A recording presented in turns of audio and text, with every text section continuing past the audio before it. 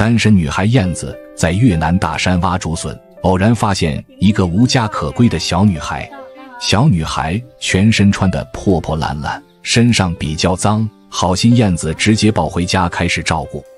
大家好，眼前看到就是单身燕子在越南大山上的家。今天跟往常一样，背上竹筐，准备上山收获竹笋。燕子也是一个很苦的人，至今单身生活在大山上自己建造的小竹子房里面，每天靠着种田上山收获东西，赚一点生活费。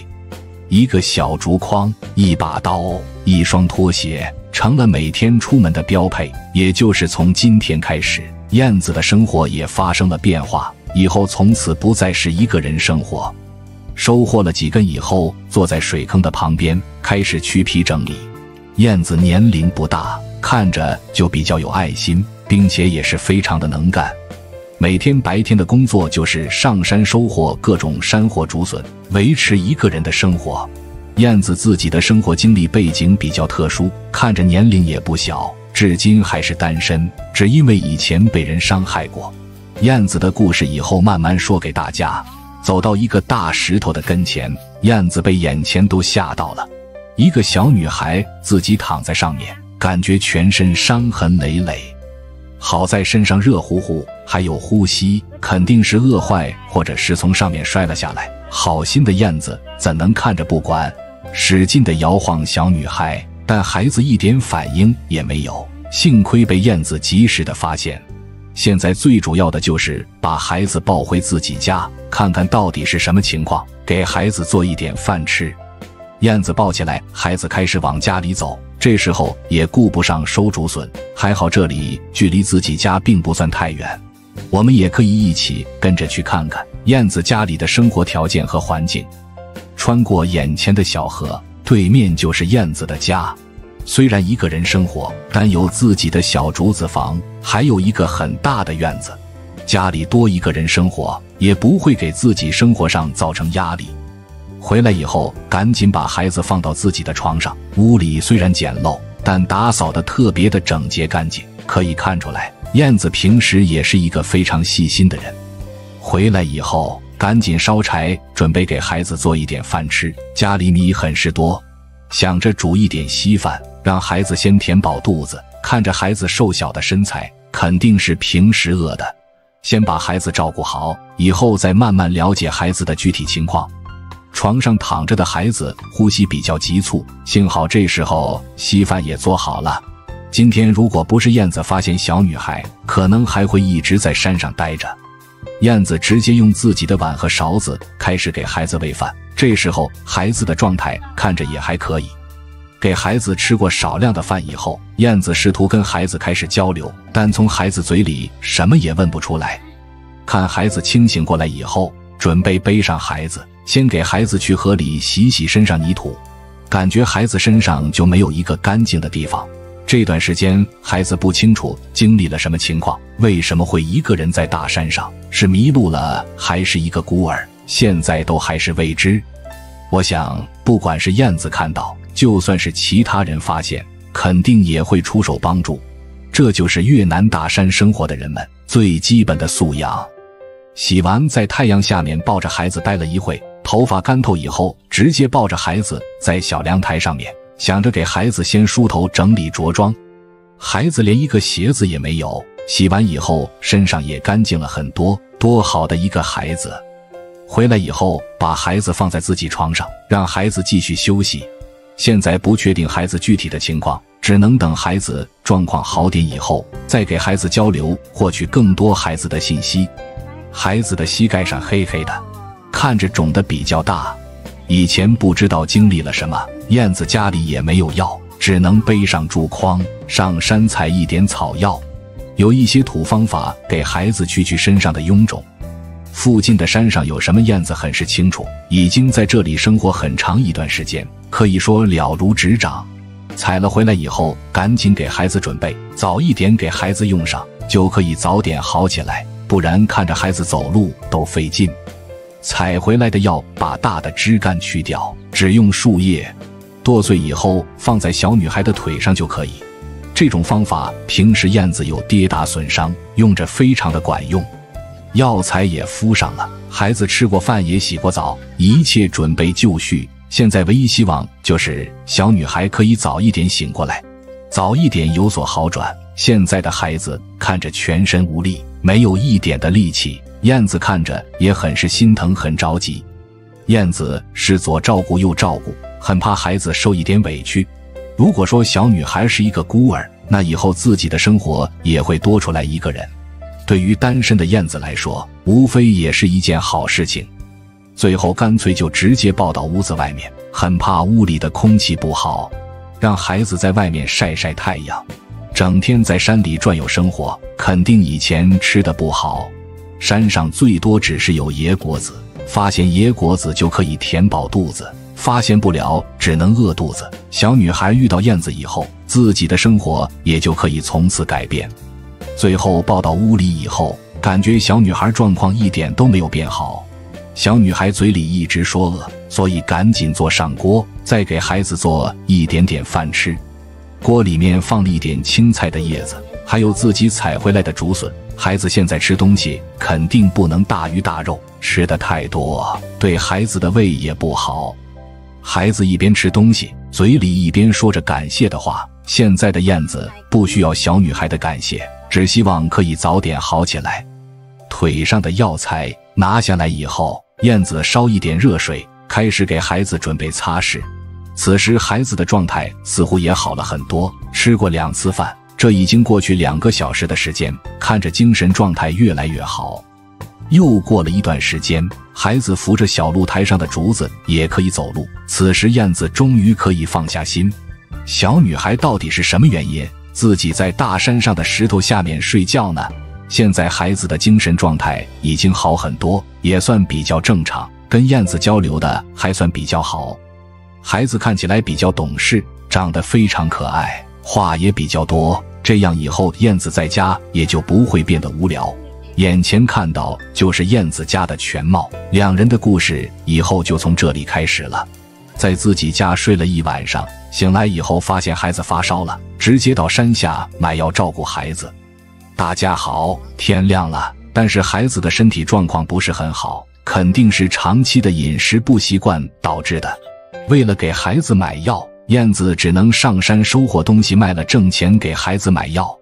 以后燕子的生活也就不会孤单。到了山上，本来想收野果子去卖，却阴差阳错的发现了一种药材。看到以后就赶紧收，一会可以先放回家，正好可以回去看看孩子。燕子也很怕孩子会乱跑，所以很是担心。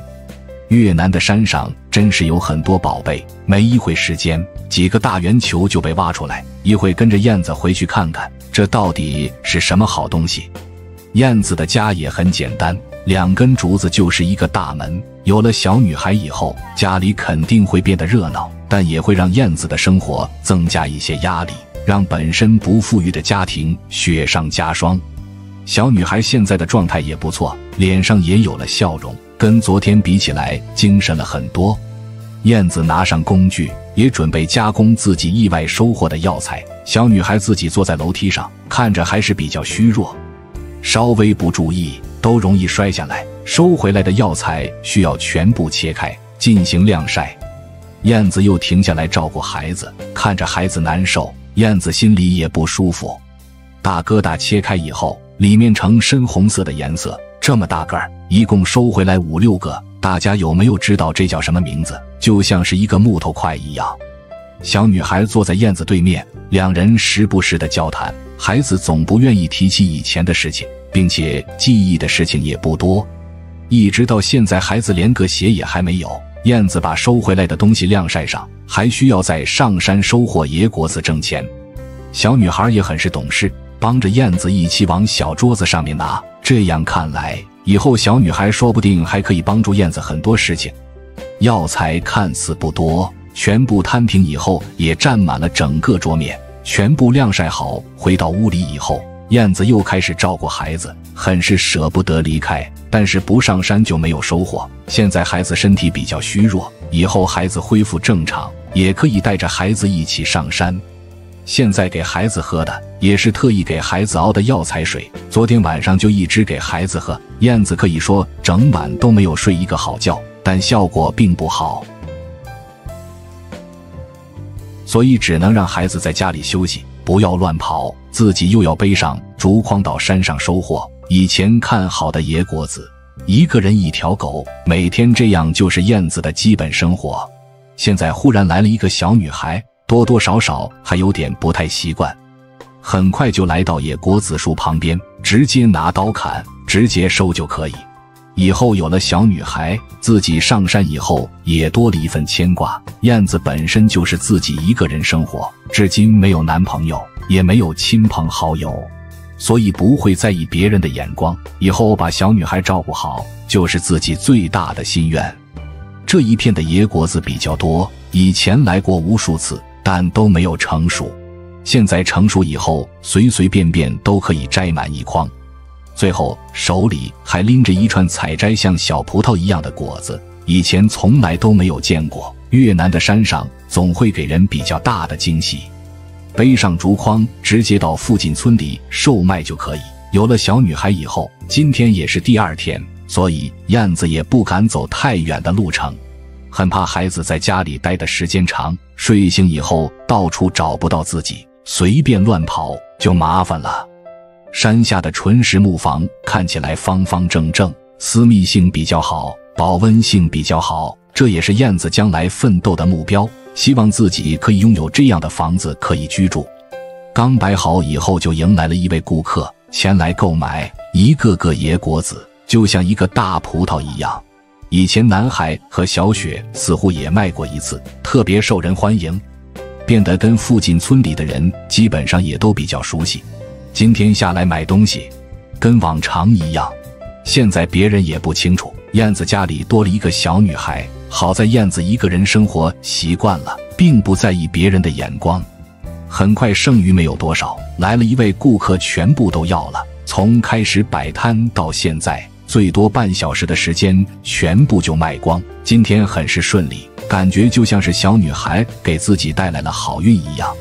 越是这样，越来越担心家里的孩子，所以说选择先回家看看孩子，再返回到村里去给孩子买药，确保孩子在家里安全以后，燕子才会放心。很着急的到家以后，发现孩子一切正常，竹筐放下以后，背上自己的小包。就赶紧到山下去买药，早一点给孩子用上，孩子就少受一点罪。从早上到现在，不说累不累，就说燕子已经走了多长时间的路，一直就是不休息。以后肯定会比现在还要更加的忙。来到药店以后，就跟店员说孩子的情况，找一个疗效比较好的药回去让孩子用上，就可以见效。燕子很认真的在听店员说的注意事项，看着燕子就很是面善老实，还好是碰到这么好的一个女生，以后孩子肯定也会跟着幸福。拿上药以后，又是急匆匆的一路小跑，想着早一点回去。此时燕子比谁心里都着急，很怕怠慢了孩子，一心的想把孩子照顾好，变成以前一样健健康康、可可爱爱。回来以后，孩子也非常的听话，一直在床上等着，也没有乱跑。坐起来以后，感觉身体还是比较微弱，赶紧把药给孩子用上。其实孩子肯定就是营养不良导致的抵抗力下降，就会容易生病。回来的时候，为了保险起见，不仅买了头上贴的，还买了一些泡水喝的药。其实燕子非常节俭，当然这时候也不担心花钱。从燕子身上穿的衣服就可以看出来，平时很是朴素，连新衣服都舍不得买。喝完药以后，燕子一边安抚，一边让孩子再多睡一会，等药效上来以后，肯定会有好转。眼前看到的几个简易的房子，就是燕子全部的家产。一转眼，等孩子醒来以后，已经是几个小时以后了，感觉精神状态也好了很多。孩子身材非常的瘦小，肯定平时吃的不好，一会做点好吃的就行。最近几天慢慢的给孩子增加饭量，让孩子慢慢的好起来，很不错。孩子自己都可以下床了。如果孩子再有一双新鞋子就好了。自己来到洗漱台的地方，开始洗脸。看来孩子虽然小，但是很懂事，能自己做的事情，绝对不会麻烦别人，真是太好了。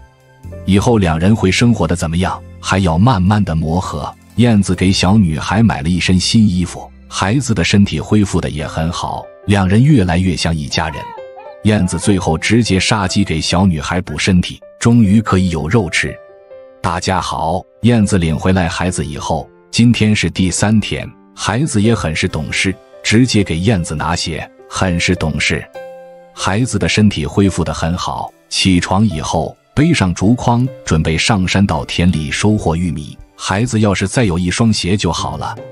小女孩光着脚丫子在前面走，真的很怕踩到石块或者树枝的时候，孩子的脚会受伤。孩子今天的精神状态很好，走起路来非常快。完全要感谢燕子这两天对孩子无微不至的照顾。又开始爬山，种植的玉米在山上，距离自己家也不是很远，所以很快也就到了田里。其实早就已经可以收，只是一直没有时间。玉米秸秆早就已经变得干巴巴。在越南山上种植粮食，主要就是靠天吃饭。雨水大的时候，农作物就会高产，反之可想而知。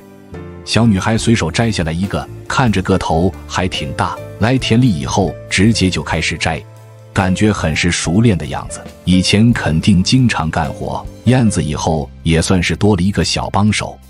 摘了以后，直接放到竹筐里面。燕子穿着大雨鞋，可曾想孩子这时候光着脚丫子上来的，但是一点也不影响孩子干活，速度也非常快。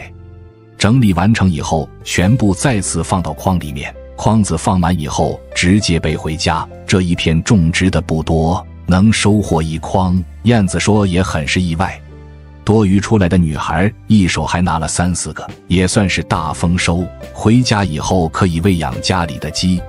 别看这一片山上全是草，燕子平时种了很多农作物，南瓜、西瓜等等，全部都有。说不定一会还有意外的收获。时间长不上来。该收的东西，其实燕子心里也记不清楚了，并且今天也给孩子准备了惊喜。孩子睡觉的时候，偷偷的到山下给孩子买了一身新衣服。看看孩子现在肩上有一个大个的南瓜，燕子的背筐里也放了几个，真是太好了。有时间的时候就可以给孩子熬粥喝。下山以后忙碌半天，全身都是汗水，正好可以到河里洗个澡。回去以后直接换上新衣服，孩子肯定也会高兴坏。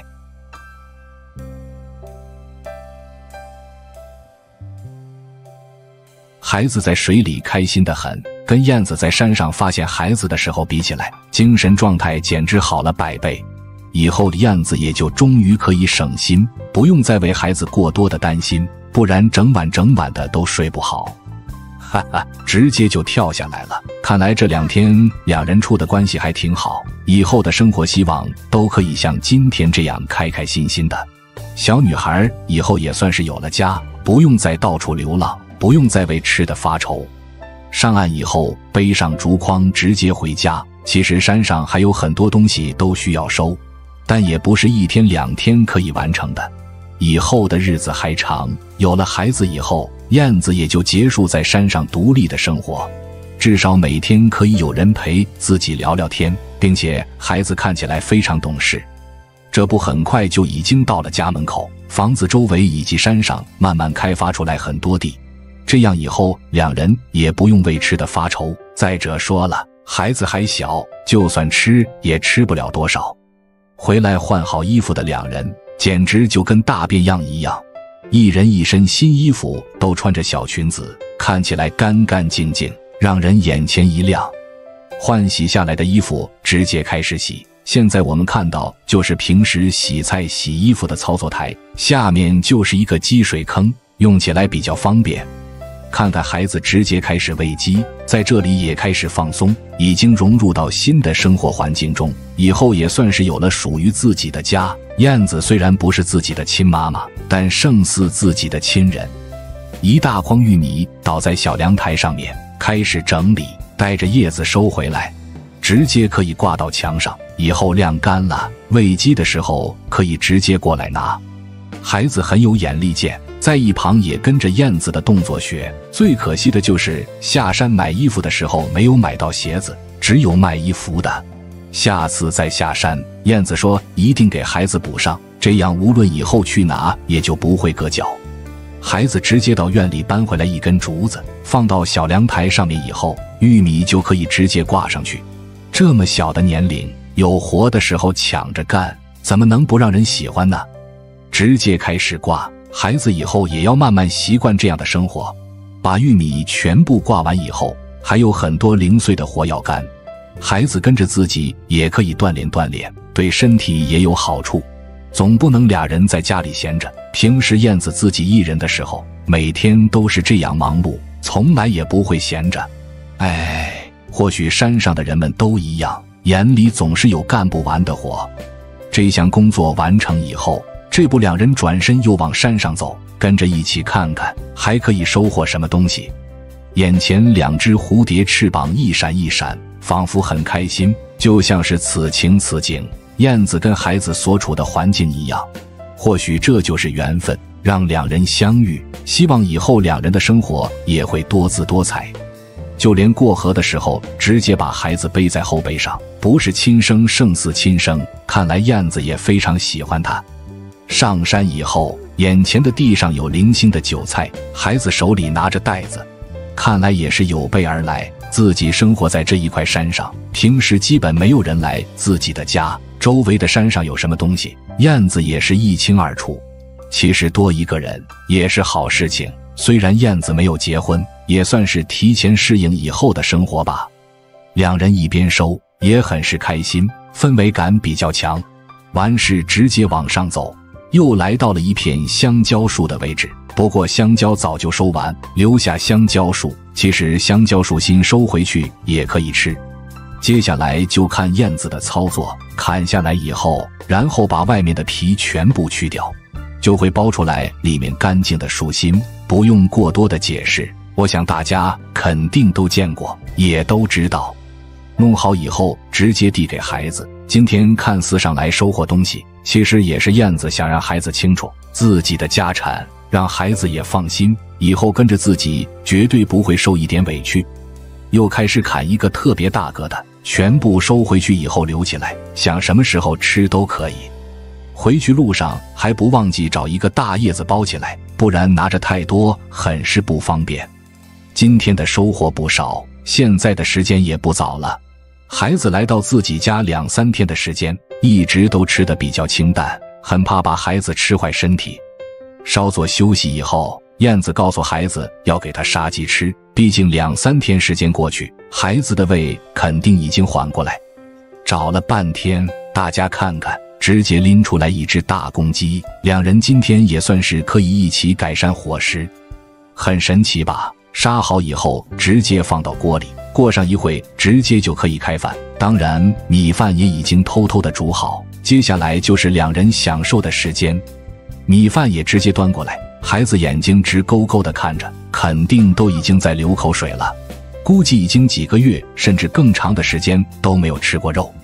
这时候孩子肯定感动的很，燕子对孩子也很好，直接弄下来一个大鸡腿给了孩子。孩子也别客气，赶紧拿过去吃吧。如果孩子有名字以后就好了，以后也不用总是孩子孩子的称呼。大家猜猜碗里的是什么呢？是豆腐呢，还是别的好吃的？看看孩子大口吃的很是幸福，只要不撑到就可以随便吃。看到两人变得越来越好，大家也就可以放心了。明天两人又会做什么呢？不好了，燕子被压在了一棵树下面，小女孩哭着跑过来，费了好大的劲才脱离危险。看着燕子的表情就很是难受。大家好，一早都还正常。燕子在山上就回来，小女孩第五天也给孩子终于买了鞋子。穿上鞋子以后，就跟燕子开始上山准备砍树，改造自己家里。以前燕子总是独来独往，有了孩子以后，无论去哪里都带着，很怕孩子受一点委屈。很快来到一棵小树的地方，清理完周围的杂草，就准备开始砍。有了木材以后，燕子计划改造下家里的房子。毕竟有了小女孩以后，处处都要多多的考虑。燕子忙碌，女孩在一旁等着。看第一棵树的时候还是顺利，这棵树也比较小，没有费多大的力气。不过山上到处都存在危险因素，燕子还是决定背上树，让小女孩到一个距离自己工作范围远一点的地方等着自己。现在每天一个人生活，燕子至今还是单身，也是一个非常能干的人，一天也不想闲下来。现在又多了一个小女孩，也不能总在家里闲着。最近四五天时间，跟小女孩处的关系也挺好。在地上不清楚捡了几颗什么果子就开始玩，也可以打发时间。很快，燕子又发现了一棵长得比较笔直、直径大一点的树。走过来以后，燕子左看右看，一眼就相中了眼前的这个树。在山上生活，除了竹子就是木材，家里无论搭建架子。制作菜园的围栏都离不开树木，咔咔咔的就直接开始砍。此时小女孩幸亏离砍树的位置比较远，就在树倒下来的时候，燕子判断错了树倒下来的方向，加上脚下一滑，直接让树给压住了。女孩听到呼喊的声音，很快就跑到了燕子的旁边，小小的身材也是使出了全身的力量，两人一块费了好大劲把树才移开。坐起来以后，半天都缓不过来。看着问题不大，但树直接压到了燕子的身上，孩子也很害怕。以前哪里有经历过这样的事情？慢慢悠悠搀扶着燕子，好久，终于到了家门口。燕子一直捂着肚子，可以走路，估计腰应该没有问题。回来以后，孩子还帮助燕子脱鞋。前几天一直在照顾孩子，现在算是反过来了。燕子可以说救了小女孩一命。孩子也很是懂得感恩，一切都记在心里。给孩子买衣服买鞋，孩子虽然小，但是这时候也到了孩子表现的时候。躺在床上满头大汗，肯定是受到了惊吓。孩子拿着毛巾直接开始给燕子擦洗，到现在肯定都还没有反应过来。在山上生活，避免不了磕磕碰碰，希望这次也可以很快的挺过去。两人计划砍树下来以后。一起到下山卖东西，这一下只能孩子自己尝试一个人去了。来到凉亭的地方，背上竹筐。别看孩子小，很是懂事。卖东西有钱以后，回来的时候还可以给燕子买点东西吃。今天燕子的情况肯定是不能下床做饭了。家附近有一棵果子树，本来已经定好的事情，今天只能孩子一个人来完成。到了树的下面，树很是高，孩子看着都发愁。树上的果子也很多。这几天在一起生活，燕子已经领着孩子卖过几次东西。放下竹筐以后，直接就开始往上爬。从小生活在山上，爬树的动作很是熟练，直接就到了果子的位置。看着也挺多，幸亏这棵树也不是很高，有小编跟着，所以大家也不用太担心。孩子以后总要长大。总要有第一次。下来收拾好以后，全部都放在筐里面，筐子也没有放满。拿上工具，戴上帽子，也就准备往山下走。燕子平时也没有多少的存款，但是孩子也并不嫌弃。刚来家里时候，好几天都没有鞋子穿，也是一起卖了几次东西挣钱以后，才给孩子买的鞋子和衣服。孩子又开始摘野菜，肯定是多想卖一点钱。燕子其实能干。以前挣了不少钱，但是让自己不争气的男朋友都给拿跑了。燕子的事情也是一时半会说不完，以后都会给大家慢慢介绍清楚。其实燕子也挺苦，不过是一个好女孩。背上竹筐再次出发，感觉孩子都已经有点背着费劲了，不过还是坚持着。放下竹筐，发现野菜以后，又开始摘。在越南农村，无论大人孩子。到处都可以看到卖东西的，这个大家肯定也都清楚。别看个头小，干活的时候真的是有模有样的。可惜了，就是没有生活在一个好的家庭，这么小的孩子就成了孤儿。又换了一个地方，放下竹筐，肯定是又发现了目标。孩子的野心还是挺大，这不又已经开始采摘，感觉在孩子身上都可以看到燕子的身影。或许也是一种缘分，让两人相遇。以后的生活中会发生什么样有趣的事情？会不会一切顺利？又会经历什么？还是需要交给时间？现在的事情，一切都还是未知数。采摘的叶子放进去，里面都已经快放不下了。跟着孩子一起下山，看看今天会不会很顺利呢？又会到什么地方去卖？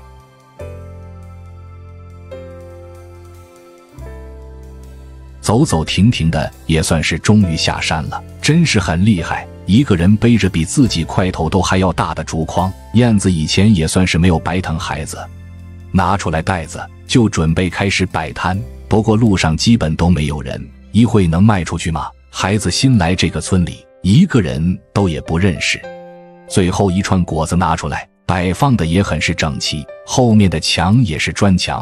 山上的村里也还算是挺富裕的。眼前这个顾客是不是开饭店的呀？来了以后，直接就把全部的野菜全部都要了，也算是解决了一大难题。孩子今天下来自己卖东西，肯定也是想证明自己给燕子看，让燕子以后也可以放心。所以说，今天挣多少钱已经无所谓了。挺好，又过了一个小姑娘买东西，还有眼前的小男孩，一人要了一串野果子。来了没有多长时间，就很是顺利卖出去不少。这个位置选的比较好，也是以前燕子带孩子来卖东西的地方。说到燕子，此时也不清楚怎么样了。东西一会全部卖完以后，赶紧跟着孩子回去看看。眼前的好心大哥也买了一份，孩子很懂礼貌，直接站起来给顾客袋子。当然收到钱以后也很是开心。最后就剩余一份，只能再等等。几分钟过后，竟然来了一位小姑娘过来买。两人的年龄也差不多呀，但是穿着打扮的差距确实是有点大呀。不过相信以后跟着燕子生活，肯定都会慢慢好起来的。全部卖完，整理好东西以后，直接就来到了小超市。说巧不巧，超市里面只有一个小姑娘看着店铺，肯定是家里人有事情去忙碌了。有钱以后，看看孩子打算买什么东西，应该是只买了两盒风味的饮料。本来是想着回去给燕子喝的，可能也是自己想喝了。不过可以原谅，这么小其实懂得也不多。回去以后，燕子不能做饭，要是可以买点当做饭的东西吃就好了。出去一趟，也终于回来了，赶紧跑到屋里看看燕子吧。其实以后叫燕子妈妈都是可以的，这样也会显得关系比较亲近。燕子躺在床上还在睡，也不清楚状况怎么样了。孩子直接开始叫燕子起来，自己买了饮料回来，也想让燕子开心开心。起来以后还是捂着肚子，看来情况不是很好。拿出来饮料，插上吸管，直接给燕子喝。孩子下山的时候就告诉孩子，不用找医生，也不用买药，想着自己扛一扛，应该就会好起来。孩子上床以后，燕子饮料都没有喝完，就又直接躺下了。孩子这时候或许也开始担心了，在床上就开始守着，拿着饮料想着喂燕子，或许也是没有胃口，只想休息，所以也只能先放下。孩子拿起来扇子又开始扇，最后希望燕子可以早点好起来。燕子和孤儿小花越南生活日常，一场大雨过后，孩子穿的单薄，有点生病，所以燕子只能冒雨下山，到村民家里给孩子找旧衣服穿。燕子被树砸到肚子以后，过了好多天，也终于缓过来了。早上起床以后，开始给孩子梳理头发，两人有说有笑，氛围很是好。小花也有了名字，以后想称呼燕子妈妈，但是燕子却没有同意。燕子说：“毕竟自己还是单身，一时半会还接受不了，同时也很是害怕周围的人用异常的人看自己。”燕子领着孩子来到田里。开始翻地，准备开始春耕，种植蔬菜和庄稼。有了小花以后，家里也热闹了很多，也不像以前那么冷清。小小的个子，直接拿着锄头，学着燕子的动作，在田里也开始翻地。小花这孩子真是很懂事，小小的身材，全身都是力量。燕子也是艳福不浅，把孩子领回来以后，两人生活的很是开心。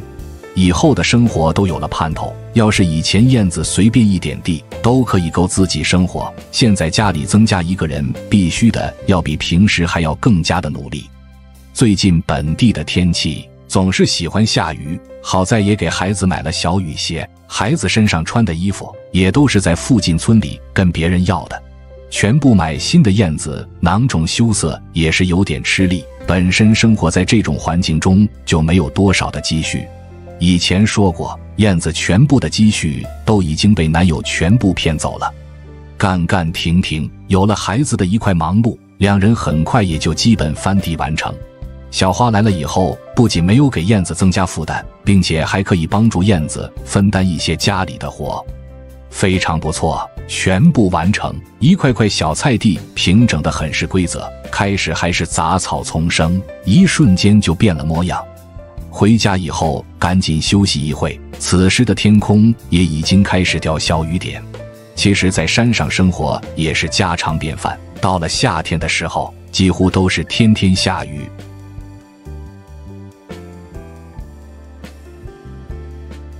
忙碌完菜地，两人又打算到稻谷田里拔草。现在看着都已经起风了，一会又该降温了。两人穿的也都很是单薄。眼前这一大片的稻谷田也全部都是燕子，去年刚刚开发出来，一直到现在都还没有成熟收获。如果说到了收获的季节，燕子将会瞬间变成一个小土豪。但现在还要每天不停的照顾，胜利就在眼前。两人还需要努力，田里看着就挺干净，不过两人也都闲不住，忙碌半小时就累得赶紧坐下来休息。两人要是真正的母女，那就幸福了。现在得风越来越大，身上的汗水也很多，一会都容易吹得难受，尤其是孩子小小的年纪，今天干了很多活，又是这么大的风吹，可能也是太想表现自己，用力过猛。回来的时候，看着都已经没有力气。最后回到屋里以后，大家看看，终于坚持不住，感觉要生病的节奏。燕子看着也很是难受，燕子只能让孩子在屋里休息，自己下山想法去给孩子要几身衣服回来。本身就没有多余的衣服，加上今天干活全身都湿透，更是没有办法。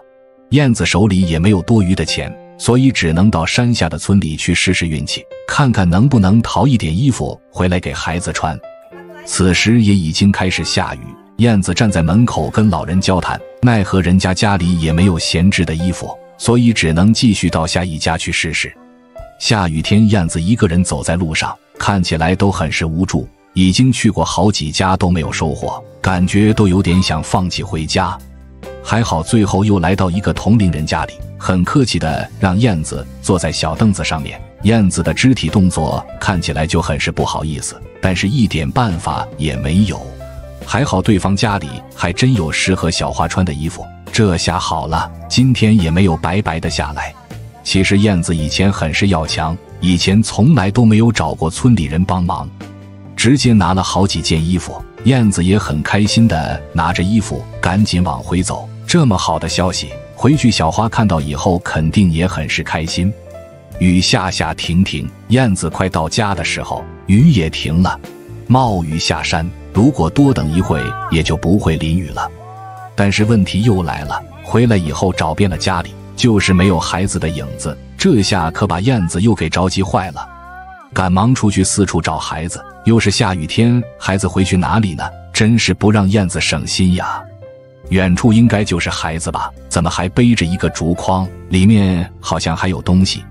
直到最后两人碰面以后，这才发现原来是孩子到山上砍柴去了。本身就不舒服，还去山上干活，这下又把燕子给心疼坏了。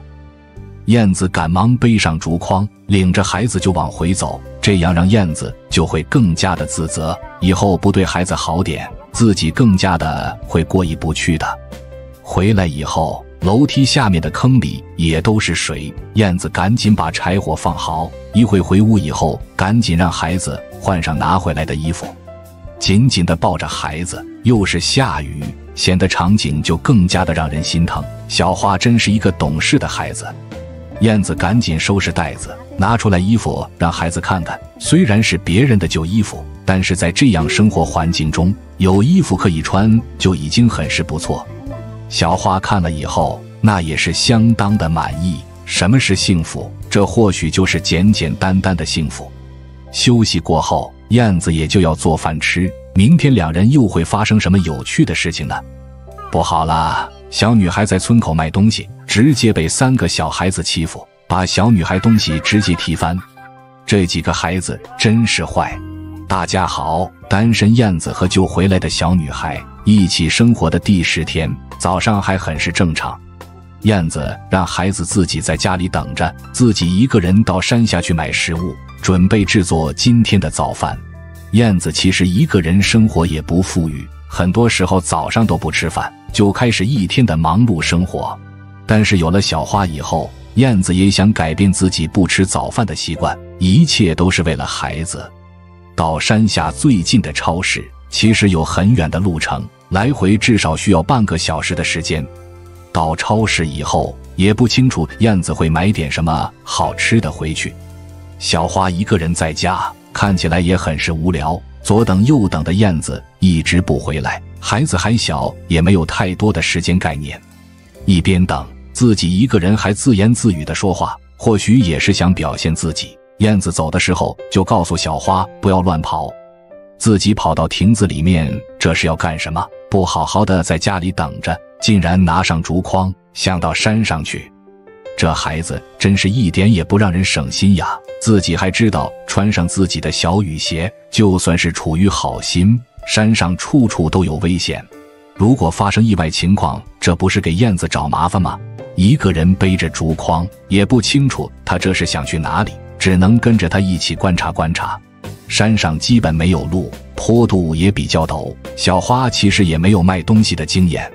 上山以后，孩子的运气还挺好，一个木头上面生长了很多的大灵芝，这下发财了。这么大的个头，小花掰都掰不动，自己在这里还挺开心。一会燕子回去了，肯定又该着急了。小花现在穿的衣服，就是昨天燕子在下山村里淘来的，看着也很是漂亮吧。小花个头不大，小手还挺快。几分钟就全部摘好，开始往竹筐里面放。这么大个的灵芝真是很少见，就算是平时上山特意的找，也不一定可以发现。如果今天小花没有发现可以卖的东西就好了，这样也不用下山卖东西，也就不会被同龄的小朋友欺负了。小花现在的头发也比较凌乱，没有计划下山。燕子也没有给孩子梳理头发，让在家里等着。今天确实有点不听话呀。下山的路上又不清楚发现了什么好东西，放下竹筐就准备开始捡，肯定想着一块拿到山下去卖。看看孩子手里拿着的，也是一种以前没有见过的东西，并且一次性的还发现了不少，长长的看起来就像是黄瓜一样。山上很多东西都叫不上来名字，所以说现在也并不会感到奇怪。背上竹筐就准备下山了，一起看看到底是什么原因。到了山下以后，被其他孩子把自己东西都给踢坏了，狗子也在后面跟着。个头本来就小，背着的这么大一个筐子也是没有办法，肯定是害怕一直在家里闲着，害怕燕子嫌弃自己，所以就想做一点力所能及的事情。直接就在路边停下了，准备在这里摆摊售卖。小花到了燕子家以后，跟着燕子也下来村里买过几次东西，有时候也会被一些人看到，或许都已经知道小花是孤儿，遭到一些人的瞧不起也很正常。全部把东西拿出来以后，没有多长时间，就有一个人过来买东西，似乎也是对孩子的灵芝比较感兴趣，直接就买了一个。已经在准备钱给小花，不错，至少今天还是有点收入。顾客刚走，这不就看到来了几个小孩子，直接开始捣乱，全部把东西都给扔了，一边大笑着就赶紧跑了。或许这样，小花才有一个完整的童年。大家不妨回忆一下自己小时候有没有被人欺负的经历呢？小花一边抹眼泪，一边收拾自己的东西。今天可是真的受委屈了。刚刚来到这个村子，如果想跟村里无论大人小孩处的比较好，还是需要一个过程。慢慢的要让别人接受自己，只能通过自己的表现让别人喜欢上自己。背上竹筐就开始往家的方向走，东西也不卖了。或许有了今天的经历以后，小花也就会听燕子的话。说好的事情不让小花随便的走动，可就是不听。今天肯定长记性了。到了一个大石头的地方，终于又忍不住。以前自己一个人的时候受委屈，现在有了新家，还是同样被人欺负。或许他也想不明白。燕子这时候提着在商店买的东西也回来了，现在肯定以为小花在家里老老实实等着自己，又看不到人，燕子也着急了，一边找一边喊，就是看不到孩子的影子，真是不让人省心。家里发现不了，赶紧跑到房子后面山坡上，一边看一边喊，也没有发现。回来以后，只能赶紧往山下的方向走。又是下雨天，道路上都很是湿滑，可以看出来燕子非常的着急。走了很久，正好也和孩子碰面了，这下终于可以放心了。小花本来就控制不住，一直流泪，赶紧的跑到燕子跟前，终于可以有为自己撑腰做主的人。碰面以后也没有来得及先回家，燕子赶紧问问孩子是什么情况。简单沟通过后，燕子也终于明白，并且告诉孩子以后一定要听话，不能再乱跑，也别在路上腻歪了。大早上的都还没有吃饭，赶紧回家。正好燕子也买了东西回来，这下孩子也长记性了，凡事都会经历一遍以后慢慢磨合吧。看着孩子受委屈。燕子也没有让孩子走回来，直接把孩子给抱回来了。这可不是受了一般的委屈呀！回来坐在床上还没有缓过来，一直都还在擦眼泪。燕子也顾不上做饭，只能继续的安慰孩子，毕竟还这么小的年龄。但燕子也没有责怪他，只是一直在跟他讲道理。碰到燕子以后，也希望孩子以后会越来越懂事。小花意外掉落水里，燕子为了救小花，也直接摔在水里。好在最后就上来，但是小花的腿上碰了很大一块淤青。大家好，本来今天的天气不错，现在也都一切正常。燕子为了给小花改善伙食，起床以后计划上山收获木薯，回来给小花制作木薯蛋糕吃。现在他们正在经过的，也就是自己家的稻田。长势非常好，以前燕子一个人也是费了好大的劲。生长木薯的小山坡距离自己家并不远，来了以后拿出来工具就可以直接挖。一会回去以后，我们也可以看看燕子制作特殊木薯蛋糕的方法。燕子今天的吃法，我想大家以前肯定都没有见过。拔出来的个头是真大，要不是今天有时间，为了照顾小花的感受，燕子肯定不会舍得花费时间制作。以前自己一个人的时候，每天几乎都是凑合过日子。小花来了以后，燕子其实也受益，至少以后做饭比较有动力。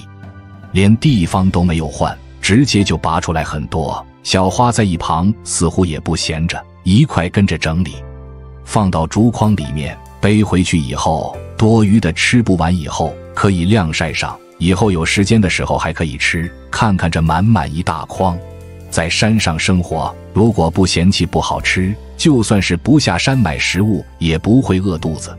周围正好有大叶子，燕子直接就过去准备摘，拿回去以后，大家也就清楚今天叶子的用途。小花来了以后，燕子每天都想办法制作不同的食物吃，很怕孩子受一点委屈，并且不论是在家还是上山，只要是燕子可以完成的事情，绝对不会让孩子动手。本身小花就失去了家人的关心，所以燕子也很是同情孩子的遭遇。整理好，最后用绳子捆起来。今天这么好的天气，也没有计划去挣钱，都是为了孩子。希望以后的生活中，小花也会给燕子带来很多的好运。好人有好报，这句话说的还是非常有道理的。燕子在做，我们在看。回来的路上又摘了很多叶子，暂时还不清楚要干什么用哦。一早不吃饭，稍微忙碌一会，肚子估计都已经开始咕咕叫。生活在大山深处，也只有这种地方才有燕子的容身之所。想想以前的燕子，生活的很是好，其实还是挺富裕的，只是没有遇到对的人，让燕子成了现在这个样子。真是每次都想吐槽下，为燕子打抱不平。孩子脚上穿的鞋子，也都是别人不穿的二手鞋子。现在的情况确实有点苦。燕子也没有完全进入到两个人一起生活的状态中，以后还需要时间给两人。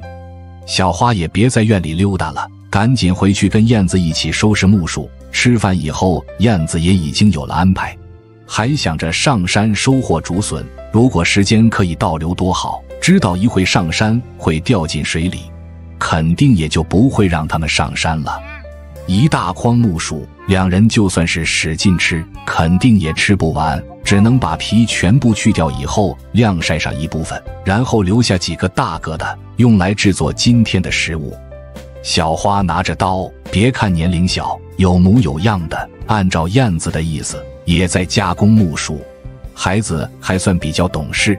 如果说比较懒，什么也不会，我想燕子也不会这样喜欢他。好的生活环境都是自己争取来的，都是一个互相信任、互相包容的这么一件事。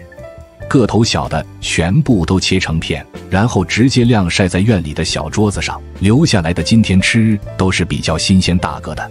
木薯晾干以后，其实也可以拿到山下还钱，就是晾晒需要好多天的时间。晾晒木薯干，其实就跟国内晾晒萝卜干就是一个道理。木薯去皮以后。形状也和大萝卜很是像，留下来一共五六个，清洗干净，一会就可以看看燕子的表演，看看越南本地吃木薯特殊的制作方法。筐里面就是用竹子制作的加工工具，拿上木薯，直接在上面摩擦以后，直接就会出来木薯的粉末，就像是加工面粉一样。最后再用采摘回来的大叶子包裹住，就是像包粽子一样，很是简单。燕子称作这种吃法叫做木薯蛋糕。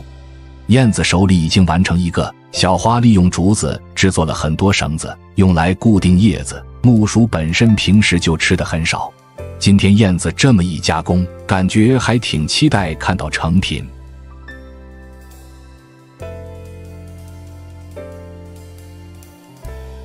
不错不错，包好的先放到洗脚盆里面，不脏不净，吃了没病。一会全部完工，直接就可以开始煮。时间紧，任务重。吃完以后还要上山收获竹笋。最后剩余一点，小花也尝试着开始包，不过还是挺简单的。全部完成，最后放到锅里面，马上就可以开饭。今天的食物，如果让我们来说，这不就是叫做粽子吗？但是在越南本地的叫法就不同了，不管叫什么，最后好吃就行，可以填饱肚子就是好食物。锅里放上水，其实没有几个，直接就用最大的一个锅，这恐怕需要更长的时间才会煮熟。不过还好，一眨眼的功夫，锅都已经端下来，隔着屏幕都已经闻到了木薯的香味。这样的做法，我想大家肯定也很是少见。吃饭的时候，两人还特意的挤到一块，可见最近的关系是越来越好。小花直勾勾的眼神看着做饭的食物，以前肯定都没有吃过这么好的美食。最后吃完以后，两人连休息都没有，直接就开始往山上走。吃饱喝足，在家里休息会多好，也就不会发生意外。不过每天在山上生活，也避免不了磕磕绊绊。每天为了生活，肯定要出去想法挣钱。从现在大石头的位置上去，很快就可以到达竹林的地方。距离自己家还是非常的近，像现在燕子手里这么大个的竹笋还是非常少见，也是需要花费时间去找。这个季节山上的小竹笋很多，再过段时间就会更好。一个地方没有以后，只能零星的去找。这么大的山，随便都可以摘上一筐，回去煮了以后，直接可以到山下去卖。只要到了山上以后，想找一个平坦的地方都很是不容易。再加上两人又都是穿的拖鞋，看着都有点危险。也就是在经过这个大石头的时候，燕子伸手去拉小花，但是由于太滑，孩子直接给到山里面了。燕子赶紧下来，看似水不深，但是小花个头小，幸亏燕子救助的比较及时。肯定是掉下去的时候碰到了腿，小花一动都有点费劲。吓得都开始哭了，自己小拖鞋还在水里面飘着。燕子把拖鞋还有竹笋全部收起来以后，二话不说就赶紧背着孩子回家。这情况肯定是不能下山了。水最多有半米高，但是已经超过了小花的身高。在山上意想不到的意外真是多，所以在山上不管吃的好不好，只要平平安安就是福呀。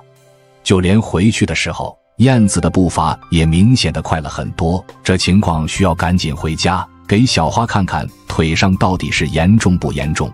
家里也没有常备的药品，所以燕子也只能找一些草药给小花减轻一点疼痛。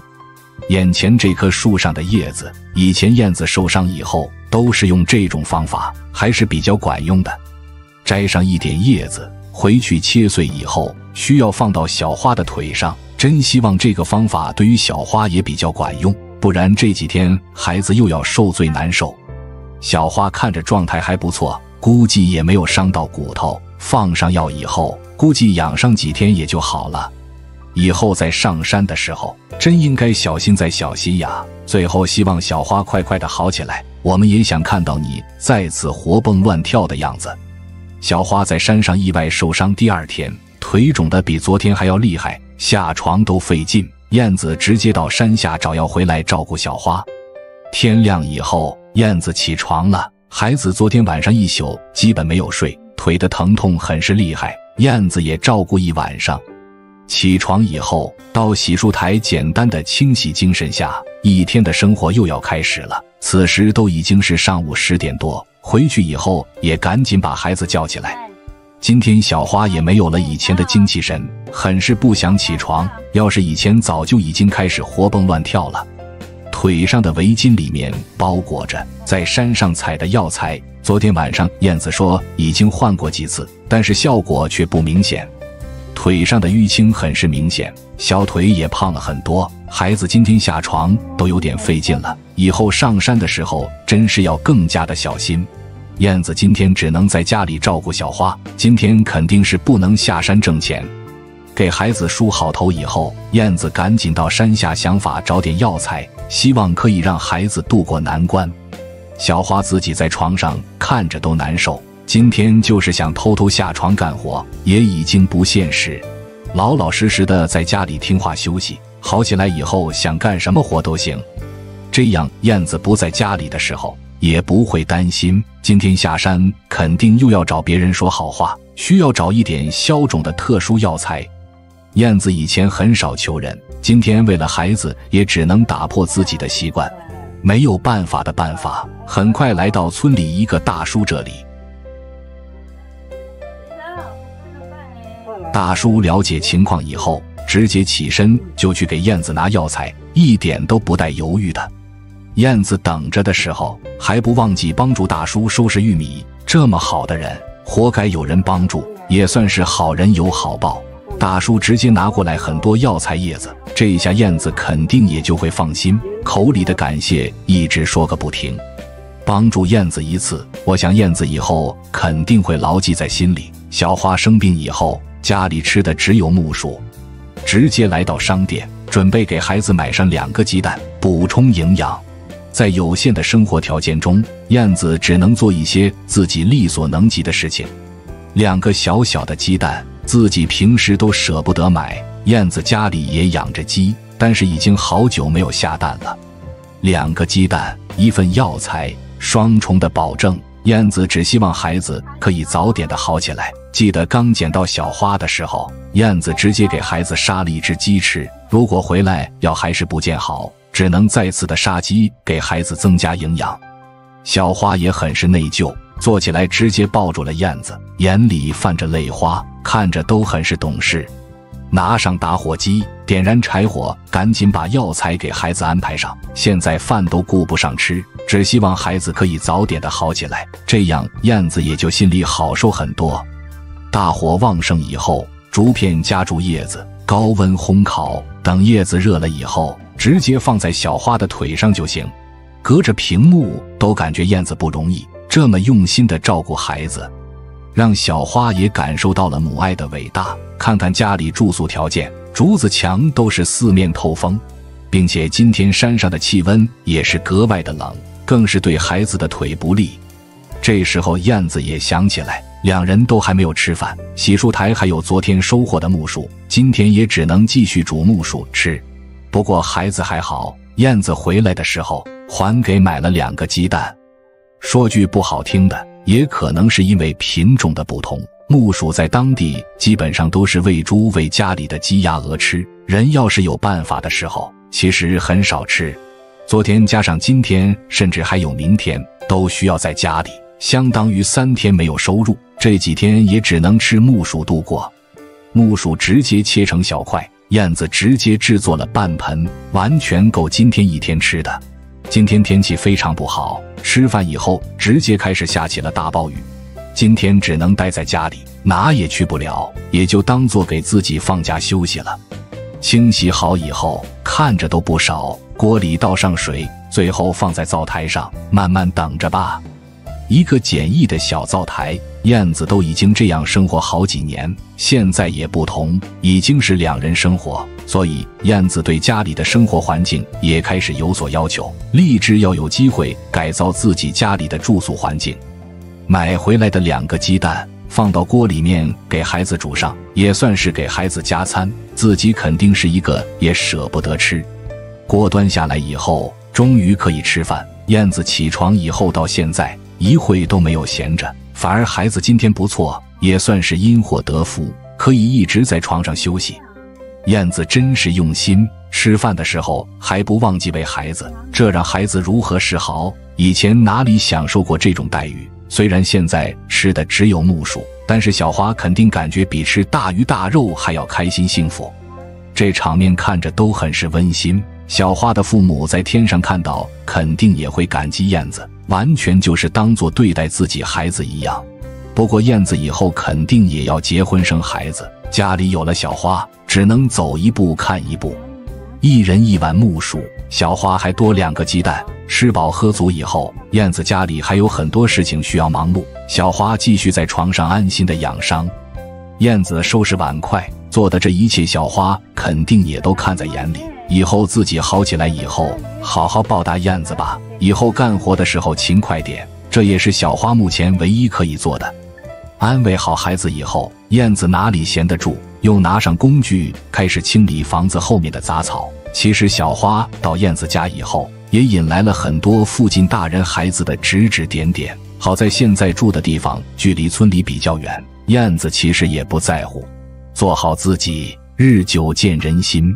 或许时间长了以后，别人也会改变对自己的看法。一边干活，心里肯定也在想着什么。燕子其实也真是不容易，自己过得就不如意。没人安慰自己，每天还要再照顾孩子，我想一般人肯定都会受不了。活都还没有干完，现在天空又开始下小雨，让周围的氛围也渐渐的紧张了起来。一直到现在，燕子还是不想停下手里的活，赶紧回屋吧，燕子。雨停了以后再干，别再把自己给淋得生病了，到时候可没有人照顾你呀。现在的雨是越来越大。感觉像是在憋大招一样，这雨量简直就是大暴雨。看看河道里面，水都已经变得浑浊。燕子站在屋里，也开始担心起自己的房子，希望屋不要漏雨就好了。还有小花可以早点好起来。燕子和小花在大山上的生活，一场大雨过后，小花又发烧。燕子用药水给孩子擦拭身上，熏蒸身体，这样到底有没有效果呢？小花或许也是忍不住，自己捂着头又开始哭。燕子赶紧过来安慰，真是有什么也不能有病。燕子摸着头，感觉已经发烧。幸运的是，小花的腿已经好了很多，也多亏了燕子昨天在村里给孩子找的药材起了作用。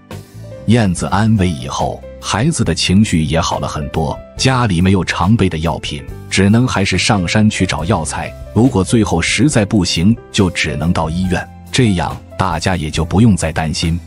自己家山上附近有什么可以用的，燕子就直接开始收集。今天开始的视频画面，大家也看到了。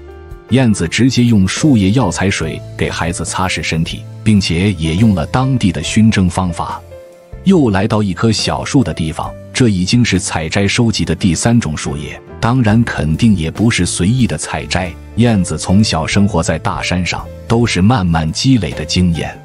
筐里面看着都已经很多，但是燕子还在不停的变换着地方，想把可以利用的全部都采摘一遍，希望小花可以一次性的就会有好转。眼前这棵树上的也不放过，已经数不清这是采摘的第几种叶子。但是燕子的初心是不变的，在山上生活没有多少收入来源，能省点钱肯定是要省钱，还可以把小花的病情控制住，就是一件好事情。现在燕子也没有别的追求，目前也已经开始攒钱，准备改造自己家的房子。采摘完以后，背上竹筐，又要开始继续寻找下一个目标。燕子巴不得把整个山上可以利用的叶子全部都收集起来。但是出来的时间也不能太长，毕竟小花自己很是难受的一个人家里等着。又来到别人家的稻田附近，看来燕子已经距离自己家里越来越远，收集不到足够数量的叶子，燕子也是不放心。自从小花到了家里以后，感觉就没有消停过，燕子变得更加的忙碌，但是燕子却一点都没有嫌弃。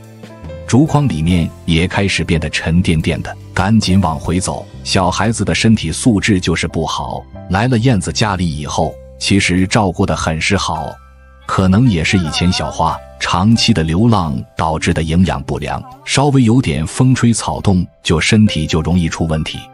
回来孩子已经睡了，至少不哭不闹。燕子可以趁着这个机会，赶紧把采摘回来的叶子用锅煮上。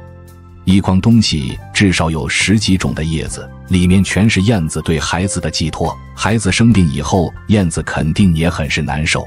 选择跟孩子在一块生活，就要对孩子负责。不管孩子以前是什么样，至少以后不会让附近村里人说三道四。所以必须要下定决心，把孩子照顾得健健康康，慢慢长大。将来燕子还想让孩子去读书，所以说以后花钱的地方会很多。熬药花费的时间比较长，燕子直接找来很多大个的木材，平时做饭的时候都用不到。小花还在床上睡着，燕子动作也很是小，很怕惊动了孩子，能让他多睡一会也就会好受一点。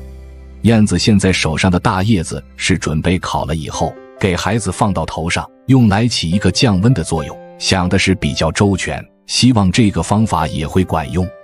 孩子是一边睡一边哭，估计也没有睡好。大叶子烤的有温度，以后燕子也不想多等一秒钟的时间。燕子一个围巾，平时自己都舍不得戴，这两天可派上了大用场。大树叶放在孩子头上，用围巾再裹上，过半小时以后，没有特殊情况就会起到作用。孩子也渐渐的平静了下来，有燕子无微不至的照顾，就像自己的妈妈一样。现在可以享受这样的待遇，还是要感谢前几天在山上遇到了燕子，把自己救回来。这么一大锅，里面有十几种的叶子，放了满满的一锅水，就连柴火都已经烧了一半，至少需要一个小时的时间。一边烧火，还要一边照顾孩子，真的很怕燕子这种状态，过几天自己身体都容易垮下来。以前的燕子一个人吃饱全家不愁，现在的燕子可以说把全部的精力都放在了孩子身上。掀开锅盖，里面热气腾腾，水也少了很多。燕子估计也差不多到了时候，赶紧给孩子安排上，这样自己也就可以休息一会。接下来准备让孩子起来，首先采用熏蒸的方法，让孩子体验一下接下来的这种方法。或许我们只在电视里面见过，实际生活中很少遇到过。这种方法在越南本地的农村其实是很常见。直接用床单盖在孩子的身上，下面放上锅，看着热气腾腾的蒸汽，让孩子就像是在享受汗蒸一样。希望这种方法可以起到很大的作用。孩子直接坐在床头就行。燕子要比刚才还要更加的忙碌，不仅要扶着床单。还要时不时的观察孩子的情况，也要防止烫伤。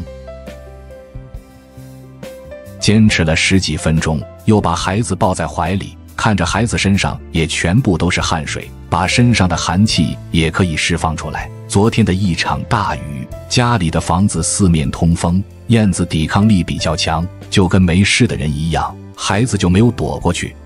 大家是不是以为这就结束了？燕子又把锅端到室外，想再利用里面的药水给孩子再把身上擦拭一遍，双重的作用，至少燕子会更加的放心，也算是自我安慰。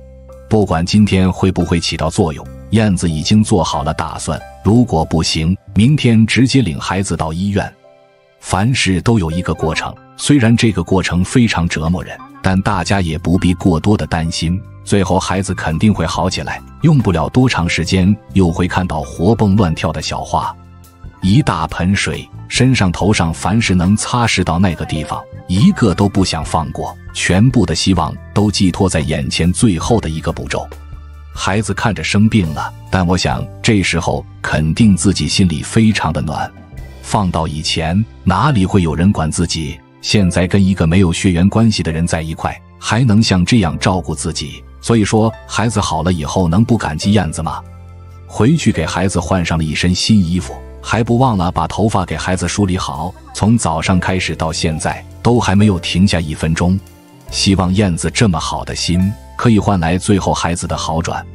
为了确保万无一失，最后还是决定再把叶子继续放到孩子的头上，让孩子就准备休息。这两天总是吃木薯也不是办法。把孩子安排好以后，也得想法去挣钱买食物。看着孩子的状态慢慢的变好，这才放下了心。折腾几个小时，可以换来孩子好受一点，也算是没有白付出。燕子换上鞋，也就准备上山找竹笋，卖了以后换食物回来给小花。单身燕子在大山上独自收获竹笋，准备到山下的加工厂换了买米吃。现在没有看到小花的身影，就是因为小花还在发烧当中，病情相对的比晚上平稳了很多，但就是一直发烧不退。照顾完孩子，燕子也就计划到山上收竹笋。自从孩子生病以后，家里已经三天没有收入，再这样下去，家里连可以吃的米都没有了。再次来到山上，燕子开始忙碌，其实心里也有阴影。孩子生病，也就是从上次上山收竹笋意外掉到水里开始的，加上最近几乎每天都在下雨，天也非常冷，孩子的体质比较差，综合导致的。看到孩子难受的燕子也是无能为力，所以在观察半天的时间，如果孩子不见好，明天要带着孩子到医院。山上到处都湿漉漉的，树叶上全是水，越是这样的环境。感觉越是有点凄凉。今天只有狗子跟自己上来，要是前几天，小花肯定在后面跟着自己。天气不好，对燕子来说也有好处。山上雨水多，竹笋就可以快速的生长。就像现在没用多少时间，就已经收获了十多个大大的竹笋。燕子上山也是迫不得已，一边在山上，还要在惦记家里生病的小花。小花来到燕子家里之后，几乎天天都在生病，这肯定跟以前的体质有关系。如果说想改善孩子这种状态，估计燕子还要付出很长的时间，好好的照顾孩子。今天也全靠竹筐里面这么多的竹笋，到山下换食物，回家以后不能直接去卖，必须要全部煮熟以后才能卖到加工厂，跟平时卖其他的东西有所不同。燕子现在上来也知道穿上雨鞋，很害怕自己有一点点意外。下雨过后到处湿滑，再怎么注意都避免不了滑倒。家里没有可以吃的食物，燕子以前也没有种植太多的蔬菜，并且已经吃了两天的木薯。今天卖钱以后，终于可以改善一下。生活在大山的这种环境中，自己家的地理位置也比较高。所以平时最讨厌的就是下雨天，不仅耽误忙着家里的事情，还会让人容易生病，尤其是小孩子。很快到家以后，燕子可以一边煮竹笋，一边看着孩子。从早上一直到现在，在床上躺着，还没有吃饭，孩子也说没有胃口，头上放着草药，看似在睡觉，实际上难受的也睡不着，坐在床头赶紧安慰安慰孩子。燕子以前哪里经历过这种场景，自己也从来没有照顾过孩子。毕竟燕子也是单身那么多年，小花坐起来以后，感觉脸上都比较发红，烧还没有退下去。现在只能赶紧忙碌自己的事情，早点去买东西回来，让孩子吃了以后再坚持一天。也决定明天让孩子到医院看病。下山的时候就已经把竹笋清理干净，回来直接放到锅里直接煮就可以。采摘的也是全部大小相等个头比较均匀，煮好以后直接就可以到加工厂卖了换钱。燕子很是熟练，以前经常做这件事情，也是家里收入主要的来源之一。下雨过后，想要找一点干柴都非常的费劲，但燕子自己这么多年都坚持了下来。燕子平时穿着朴素，生活的比较节俭。燕子只有三十岁，但看起来比实际的年龄似乎要大一些。平时不化妆，不打扮自己，也不舍得给自己买新衣服。煮好的竹笋直接放到外面，放上一点凉水，降低竹笋的温度。自从小花来到燕子的家里以后，燕子至少需要抽出来百分之五十的精力，全部放到孩子在身上。几十根竹笋经过一番折腾，也达到了卖钱的条件。大家猜猜，这么多的竹笋可以卖多少钱？越是在山上容易得到的东西，价格就越不会高。满满一大盆子。今天收入不会超过三十元，全部放在竹筐里面，一会就可以跟着燕子到山下的竹笋加工厂去看看是什么个情况。并且燕子的身材比较瘦小，长期都是将就着生活，吃的也并不好。收拾完竹子，最后还不忘记回屋看看小花。虽然下山用不了多长时间，但心里还是放心不下。走到大路上以后，视线都好了很多。但看天上的云彩，黑乎乎，肯定用不了多长时间又要下雨。竹笋加工厂外面放着十几袋竹笋，距离燕子家也不是很远，都是老顾客，来了以后都不用检查质量。老板娘也非常的年轻，跟燕子是同龄人，但是看相貌感觉相差很大。就连小超市卖货的都是小孩子。来了以后直接买大米，身上没有多少钱。到了明天去医院的时候，燕子都不清楚怎么解决。买了几斤大米，付钱以后，燕子也就准备回家。当然也给孩子买了一点小零食，回去以后也可以让孩子开心下。山下的环境比较好，宽宽的马路，生活着很多村民，比较热闹。到了自己家以后，又会变得冷清。还没有到家的时候，就已经开始起风。到了家大门口的时候，风变得也是越来越大。燕子回来，小花直接抱住了燕子。一会不见，孩子就非常的害怕。现在燕子是自己唯一可以依靠的人，还好燕子对小花也非常的好，抱着孩子一直在安慰。这时候也已经下起了大雨，跟昨天的场景非常的相似。再多坚持一下。明天雨过天晴，就可以领着孩子去看病。小花意外晕倒，燕子看到以后，赶紧上去查看情况，发现情况不好，直接就把孩子送到了医院。到底是什么原因呢？越南农村的医院又是什么样的环境呢？大家好，小花最近几天总是不舒服，早上起床以后，感觉孩子也挺好，孩子也愿意再坚持坚持。所以燕子也就准备到山上忙碌，以后留下了孩子在家。燕子也不下山，所以现在一切看起来都还是很正常。到了春天以后，正是本地农忙的季节，燕子准备上山开荒、清理杂草，准备种地。燕子也比较讲究，来的时候带着一件旧衣服，很怕又高又锋利的草把自己的身上划伤。毕竟自己还是一个单身的小姑娘。一片地也不少，燕子想要全部干完，没有一个小时肯定是不行。还好起床的时候，小花也算是比较正常。燕子现在重新开荒种地，也不单单是为了自己，也是为了现在的小花。以前燕子一个人的生活其实过得挺好，要不是遇到小花，也就不会来到燕子家里打扰她的生活。小花自己一个人在床上躺着，周围很是安静。也没有燕子的声音，肯定也感觉很是无聊。自己竟然起床了，左看右看，左等右等，肯定也闲不住。昨天晚上跟燕子聊天的时候，燕子答应给小花买两只小羊，这样以后在家里也就不会显得无聊。这不干脆直接就开始给小羊准备草，这是有多期待？燕子没有在家走的时候，同样跟孩子交代好不要乱跑。今天已经是第二次不听话了，本身就带着病，看看这最后坚持不住，直接晕倒了在地上。倒的时候没有发出任何的声音。燕子在很高的山上忙碌，哪里知道家里的情况？眼前忙碌完，燕子终于可以松口气，坐下来稍微休息一下，又要继续到第二个地方去忙碌。上来的时候就准备了一瓶水，计划就是干上几个小时才回家。其实，如果按照燕子的要求，嘱咐给小花的事情可以特别的听话，也就不会发生最近一件接一件的事情。燕子答应给孩子买小羊，记在心里清清楚楚。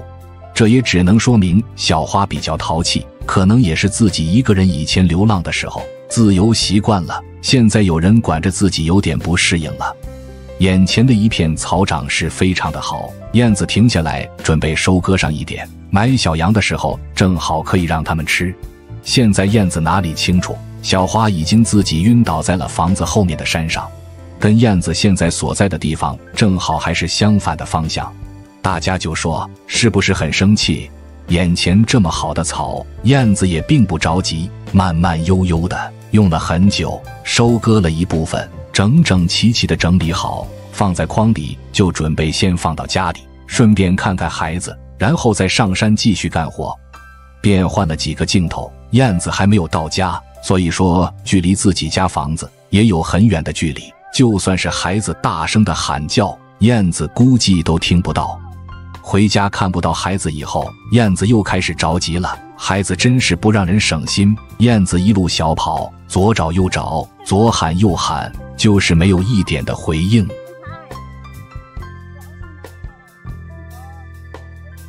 孩子本来就有病在身，这放在谁身上，肯定也会着急坏了。现在只能向方向相反的地方继续找。还好找对了方向，最后干脆站在一棵大木头上，左看右看。这时候距离小花晕倒至少都已经半小时过去，还好最后发现了。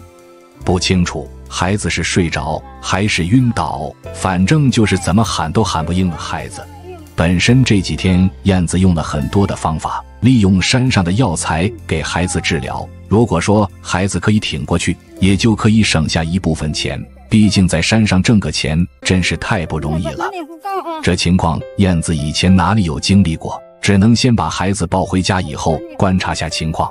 燕子本身就是单身，有了最近的经历，如果以后燕子结婚有孩子，肯定也会增加不少的经验。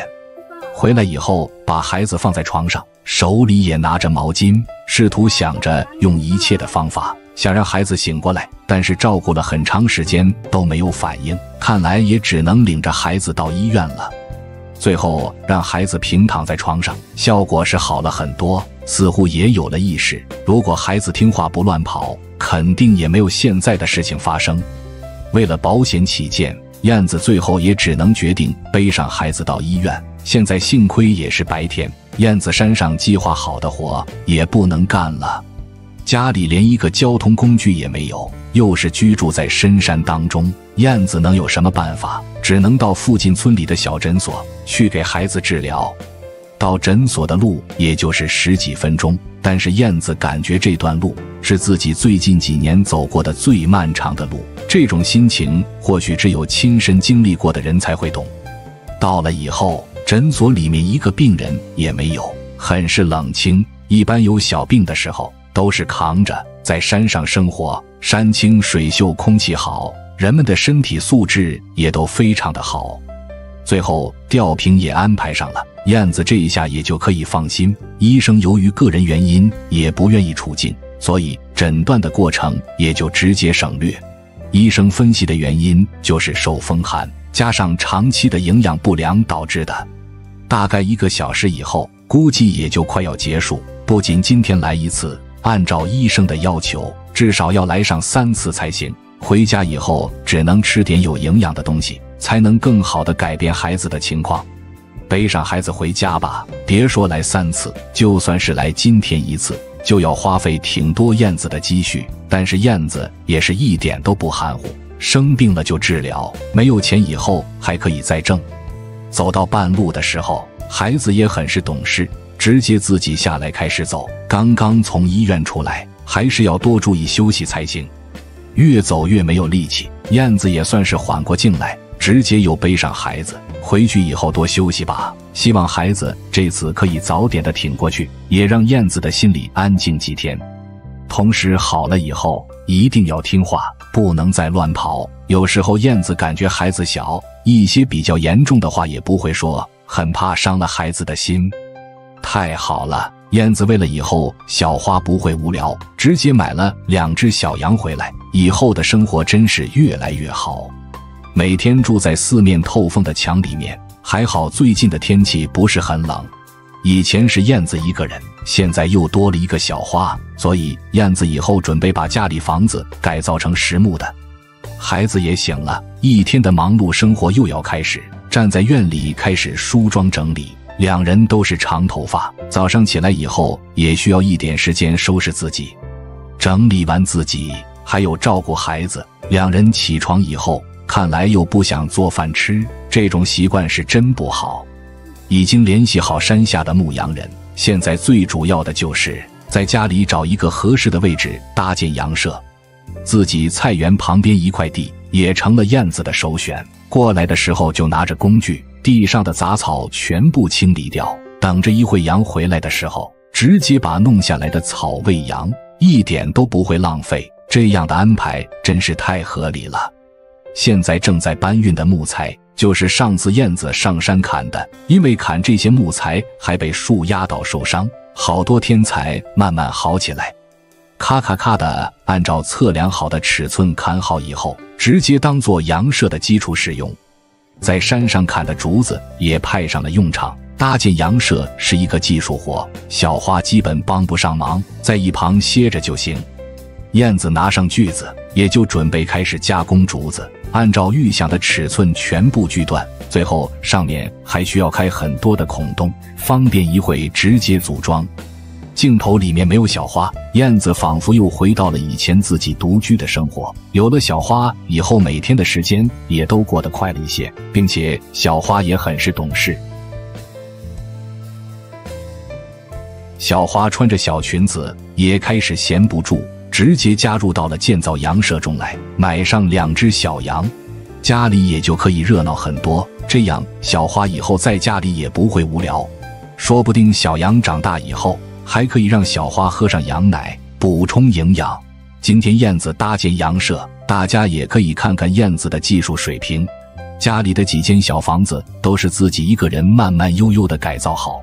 现在有了小花以后，也就更加的干劲十足。其实也不用大惊小怪，在越南农村生活，几乎无论大人小孩都可以把竹子玩得很溜。利用竹子制作各种形状的东西，就跟家常便饭一样。竹子上面洞口全部开好以后，接下来就剩余组装，就像是搭建积木一样。在放松娱乐的同时，还可以把羊舍建好。这样的生活环境确实很是让人羡慕。每天生活在大山上，没有一点压力，也没有人打扰，过着母女的二人世界生活。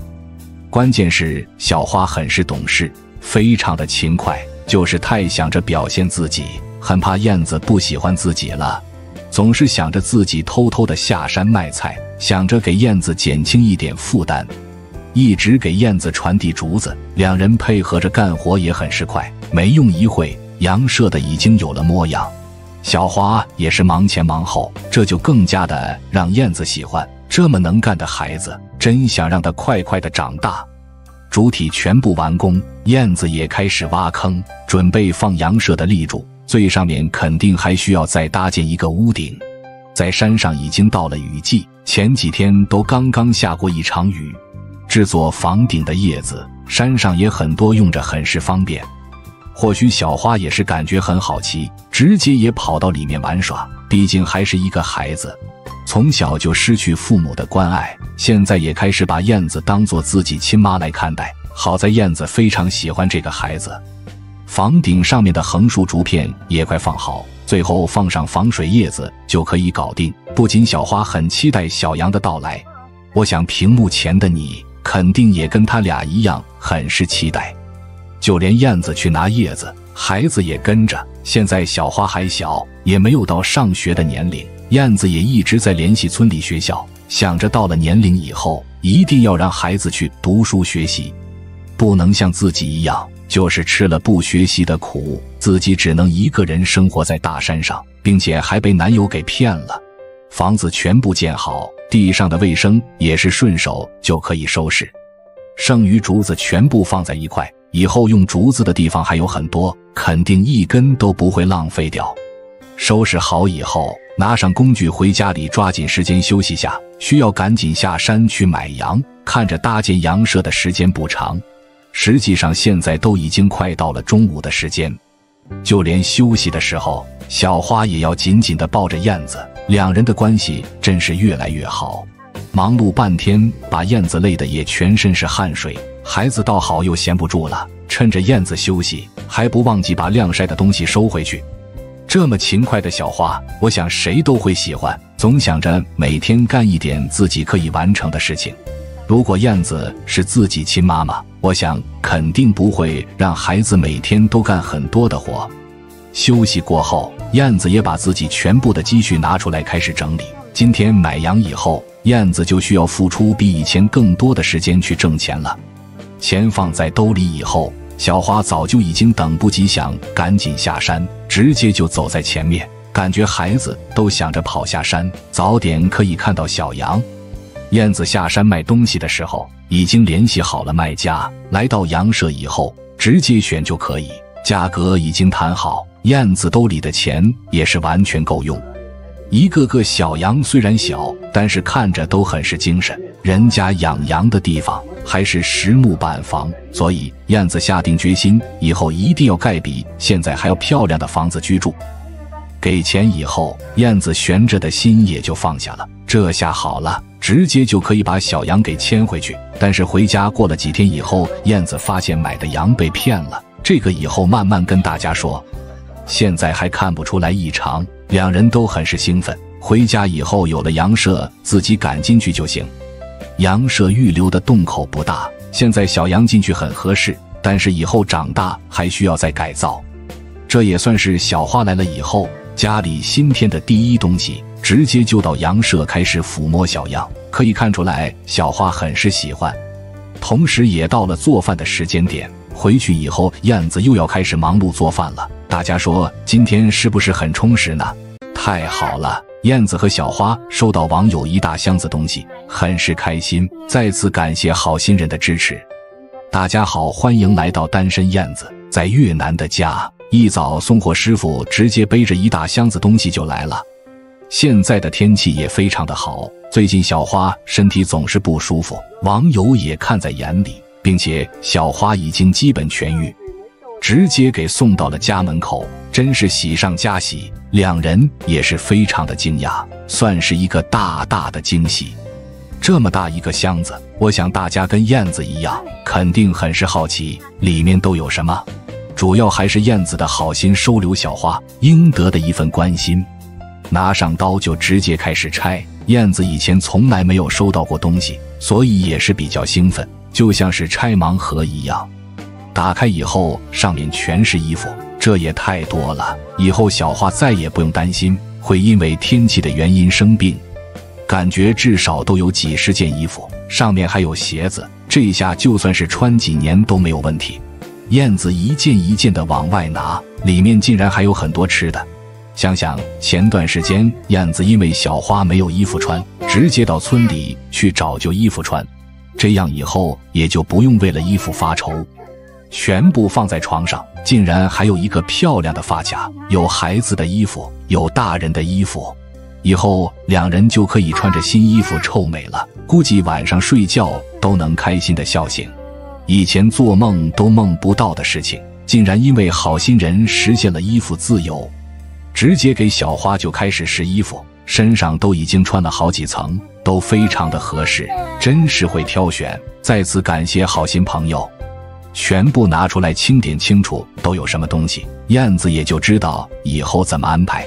关键吃的也不少，很多零食，两人终于可以改善下伙食。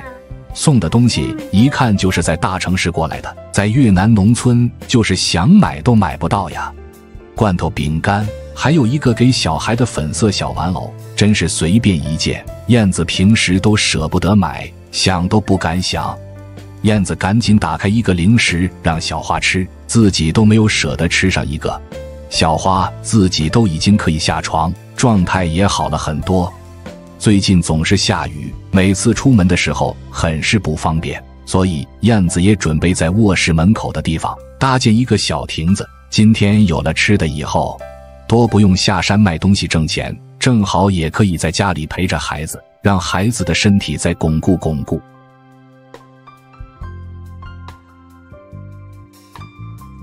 燕子穿着自己工作服，咔咔的在山上已经开始。这个位置距离家里不是很远。其实燕子也很担心小花自己又会乱跑，希望这次会听话。没一会，七八根竹子就已经运下来。燕子说：“要是家里不是多了小花，自己也就不会每天像这么累。自己什么都可以坚持，什么都可以将就。这么冷的天，燕子为了节省时间，直接走水路，一次性的就可以把全部的竹子运回家。就算是全身都湿透了也没有关系，回去直接可以换上送来的新衣服，多的也是根本就穿不完的。”竹子全部都搬运回来以后，燕子也赶紧把干净的衣服换上。这么冷的天，真的会担心燕子在生病，那就问题大了。小花今天也听话，一直在屋里待着，也没有乱跑。两人在一起生活，总要有一个互相适应的过程。燕子穿上新的衣服，看起来也年轻了很多，这样才是燕子应该有的样子。平时就知道在家里干活，都不懂得收拾自己。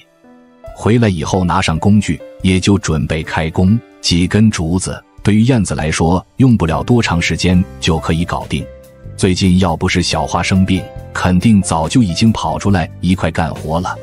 竹子泡过水以后，也看起来湿漉漉的。测量好尺寸，直接就开始锯断。燕子其实闭着眼睛都可以完成，也是自己一个人生活慢慢积累的经验。小花在屋里也不出来。要不是燕子一直跟小花讲道理，肯定又该乱跑了。毕竟也还只是一个孩子，已经到了上幼儿园的年龄，但是一直没有机会上学，以后也只能全部都指望燕子。最后一根立柱加工好了以后，直接放在坑里就可以开始搭建架子。不过活都还没有干完，好像又已经开始下雨。幸亏没有下山，不然回来的时候就又费劲了。基础坑里面也全部都是水，燕子也努力的在夯实，不过感觉看着都不是很结实。好在燕子挖的也比较深一点。新衣服穿上以后，很快也已经淋湿，如果再换的话，就已经是第三身衣服。要是以前衣服湿透以后，也只能将就着。房子后面紧挨着河道，下雨过后水流的声音更大。如果说在这里睡不习惯，晚上一直有流水的声音，根本就受不了。最后开始分竹子，分好的竹子直接当做小房顶用。这样搭建好了以后，也就算自己卧室有了一个小阳台，下雨的时候站到门口也不会淋湿。全部做完以后，早上起来到现在都还没有吃饭。小花就吃了一点零食，燕子都还没有吃。又是下雨天，吃点早点也无所谓。小房子上面的横撑放好以后，燕子也不打算放树叶。又是下雨天，现在的天气也是越来越不好。燕子已经开始收拾，小花在屋里也是也一直关心，一直让燕子回去。小花病刚刚有所好转，自己也不敢冒雨出来。第二身衣服又全部淋湿，收拾完赶紧回屋里，再换一身衣服，直接就开始做饭。回来以后，燕子不在室外干活，直接就换上一身好看的裙子，肯定也是比较新鲜。一会大家可以看看效果。守在灶台的旁边，一边等着做饭，一边赶紧暖暖身子。以后有时间，要是把自己房子加固下，晚上睡觉也不会四面透风。最后再炒上一个青菜，其实也是院里的野菜，并且还给孩子又炒了一个鸡蛋。这下好了，开饭吧！又是在床上吃，都快要吃饭了。小花还对自己的小玩具恋恋不舍，今天肯定连睡觉都想抱着一块。两碗米饭，两个菜，简简单单吃上一顿，盖上被子，呼呼大睡一觉。下雨天想想都挺美。小花穿着新衣服看不出什么效果，但燕子穿着新衣服显得也比较瘦。跟自己穿破破烂烂的时候比，漂亮了不少。主要燕子比较黑，如果再白一点就好了。一边吃一边聊天，小花的话也多了起来。看到小花好起来以后，真是都替燕子感到开心。太好了，单身燕子和小花在院里忙碌，准备改造自己厨房，这样以后做饭的时候也不用总在睡觉屋里。同时，今天也是小花生病康复第二天，燕子也不打算带着小花上山，换上鞋子，拿上工具，自己一个人要去忙碌。小花在屋里还拿着热心网友送的玩具，玩得很开心。燕子也穿着新衣服，就连晚上睡觉也穿着。现在上山干活也一样。现在的天气看着很是不错，谁也不会想到了，最后又开始了下雨。眼前这种特殊的草比人长得都要高，大家有没有清楚具体叫什么名字？收获草回去编制以后，就可以当做房顶的材料用，防水性能也特别的好。但是数量必须多，所以燕子只能不停的收。以前自己一个人生活的时候，燕子也没有这么勤快。一半的原因其实都是为了小花，让小花也可以感受到家的温暖。上来一会，又开始起风了，呼呼的声音在大山上多少有点凄凉。不习惯的话，都会有点害怕。但是燕子自己一个人都在这里生活了很长时间，当然起初也是燕子跟男朋友在这里生活，种种的原因，燕子就是不想提以前的事情。燕子说过，段时间自己和小花稳定以后，也会把自己这几年的遭遇都分享给大家。燕子的故事很感人，故事也很是长。燕子一个女生生活在大山上，很多人也都为燕子担心。好在这么多年，燕子都已经坚持过来，以后有的是时间。燕子的防水草也收集好，出来很长时间。小花估计又在家里等得着急，先背回去一次，正好可以回去看看小花。经过半个月的相处，两人也有了感情，有了默契。燕子为了小花的爱好，还特意的买了两只小羊。一个人躺在床上，手里也一直拿着玩具不放手。一个玩具，燕子说，昨天晚上睡觉的时候，孩子都是一直抱着睡。建造小厨房，家里昨天砍的竹子也都不够了。这部燕子上去以后，很快就已经扛下来很多。守着大山，守着竹林就是方便。回来的路上也不好走。土都变得松软湿滑，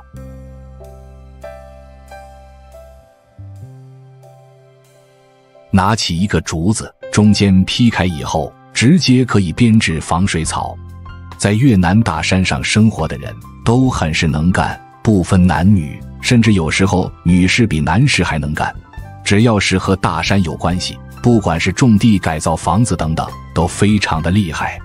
院里有了动静以后。小花在屋里也闲不住，身体好了以后又可以帮助燕子干活，但是孩子还有点小，倒很是希望孩子每天都可以歇着，穿着小拖鞋、小胳膊、小腿干活很是快，已经开始给燕子传递草，穿着新衣服就跟宝贝一样，以后也不用再为了新衣服发愁。孩子有时候就是容易满足，眼前就剩余最后一片草，也全部都加工完。规规矩矩的燕子的手法是真好，如果拿到集市去卖，我想肯定也会有人买。这种草不仅防水，并且也有一定的保温性能。厨房的小屋顶，主体制作的时候就做的斜屋顶，就是下雨的时候，雨水也可以很快的排走。燕子一个人安装，小花在一旁看着，就像是燕子小时候看自己父母干活一样。所以根本就不用学习，看到时间长了以后，自己闭上眼睛都可以完成。多余出来部分直接用刀裁剪掉，这样整体也就会变得美观。最后再把地上垃圾清理掉，房顶就算是完工。当然还少不了围墙，并且有时间的时候，燕子还想自己再制作一个橱柜，让家里也变得比以前还要整洁好看。围墙施工以前，先平整场地，一个步骤挨着一个完成，一个步骤没有做好，最后就只能返工，或许花费更多的时间来弥补。所以一次性的完工尤为重要，节省出来的时间，燕子都可以到山下卖东西，多挣一分钱。剩余竹子全部加工成竹片，当做墙体的材料来用。看似比较简单，其实燕子也是暂时的将就下，以后准备在这里盖实木的小别墅。燕子拿上竹片，二话不说，赶紧组装围墙。每天家里改变一点点，时间久了就会发生翻天覆地的变化。还好燕子很是能干，心也比较好，不然小花碰到别人以后。绝对不会有每天这样的舒服生活，渴了有水喝，饿了以后有人给做饭，简直比自己父母对自己还要好。剩余最后一面墙的竹子，咔咔咔的直接摆放就行，一会就可以展现出来一个好看的小厨房。最后也不忘记再重新制作一个小门口，看似很是简单，但是也已经用了很长的时间，都还没有完工，就又开始下雨。所以也只能被迫的完工。小花拿着锄头也开始疏通水道，但是房子要是稍微的建设高点就好了，就不用每次到了下雨的时候都要担心。小花都还没有起床，燕子已经上山砍竹笋回来。孩子就是幸福，想睡多长时间都可以。几间竹子房住着单身燕子和素不相识的小花，已经快有一个月的时间。燕子每天给自己安排的工作也是越来越多，付出的时间和精力也比以前更多。每天把小花当做自己的亲女儿一样对待。测量好尺寸，燕子已经开始加工竹子。工具发出的声音也让屋里的小花醒了过来。小花很是懂事，这也是燕子喜欢的原因。现在制作橱柜，燕子也想让孩子享受一个正常的家庭生活环境。别人家有的，自己也要有。小花很快也过来帮忙，身上穿的衣服也是热心的网友赠送，每天都可以穿不同的衣服。小花以前做梦想穿的裙子，现在也都慢慢的实现。有了小花的帮忙，速度都快了一些。这部橱柜的框架都已经完成。燕子每天天不亮就起床，每天都是自己养的大公鸡把自己叫醒。现在家里也相当于有了厨房，自己的卧室面积也扩大了很多。以后做饭直接可以在门口，也不用一直在屋里做饭，弄得床上到处都是油烟。小手里拿着的小玩偶，真是只要有时间就会拿在手里。自己帮不上忙以后，就默默地看着燕子干活，一边看一边学。虽然现在自己干不了，但是等自己长大以后。肯定就可以为燕子分担一些家里的活。燕子现在正在加工小竹片，一会编制好以后，当做橱柜的隔层板，以后做饭放用具的时候就会很方便。现在家里其实还缺一个比较大的灶台，这样就会比较完美。一日三餐用到的灶台肯定是不能没有。现在两人手里的小竹片，大家猜猜是用在什么位置的？以前没有橱柜，现在有时间制作。以后燕子也是非常的认真，必须要制作一个比较实用又好看的。燕子看起来年龄不大，但是经验丰富的很。这个角度显得屋里就比较黑，家里也没有发电机，所以平时白天的时间，燕子巴不得一刻不停的都想干活。地上剩余的边角料，以后也都可以烧火做饭，都不会浪费。收拾干净以后，也就可以领着孩子到山上收获巨无把竹笋。最近的天气很好，阳光照射的也比较强。本身就住在特别深的山脚下，家里有了两人忙碌的身影以后，也就不会显得无聊。想想以前燕子自己在这里生活的时候，简直就不敢想象。小花也一直都没有闲着，一直都在干活。两人的脾气、性格，还有干活卖力的劲头，很是像。这或许就是缘分让两人相遇。最后再看看室内的橱柜，很是漂亮。橱柜是做好了，我想大家肯定和我一样，比较期待两人是如何制作竹笋，如何用竹筒储存竹笋的。这么热的天，回屋休息调整下，也就准备上山。燕子想让小花自己待在家里，小花生病也好了，所以就坚决的要跟燕子一起上山。上山的时候不忘记穿鞋子，这种习惯就特别的好。相对于男孩和小雪来说，还是比较好点。并且燕子也专门按照小花的要求，在村里给孩子淘了一个旧的小竹筐，不过看起来也很是合适。这样以后上山多少都会给燕子分担一点重量。现在来的山也是自己房子后面的大山，住的位置唯一的好处就是可以随时上山寻找山货。来了，很快也就发现了目标。燕子说：“记得这里有竹笋，但是来了以后也没有想到竹笋的个头会如此的大，感觉一个竹笋就可以放满竹筐。由于品种不同，所以燕子也就决定自己留着吃。山上很多的小竹笋留着以后，可以收获煮好以后到山下换钱。换地方以后。”又发现了两个个头大的，砍上几颗就够两人以后至少半月吃的。今天下山以后也不准备直接就吃，燕子早就有一个想法，全部加工好以后放起来以后，哪天想吃的时候就会比较方便。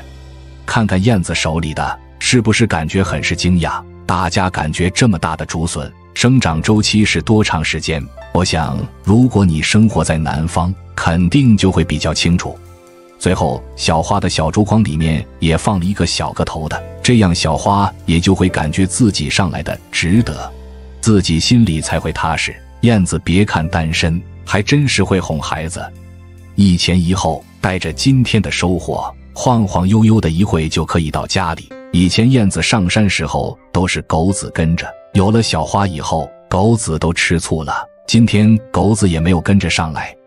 回来的路上，燕子顺便也砍了一棵大竹子。至于有什么用，一会大家就会特别的清楚。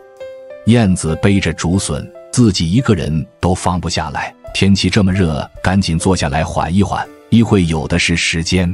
回来以后还不忘记拿上小玩偶。山里的孩子就是这么容易满足。简单休息调整以后，也要整理拿回来的竹笋。家里有了存菜以后。就是下雨天不想做饭的时候，随便吃点都比较方便。这样正好可以跟着燕子学习下制作竹笋的过程。在山上想存东西，在没有冰箱、没有电的情况下，居住在山上是怎么应对？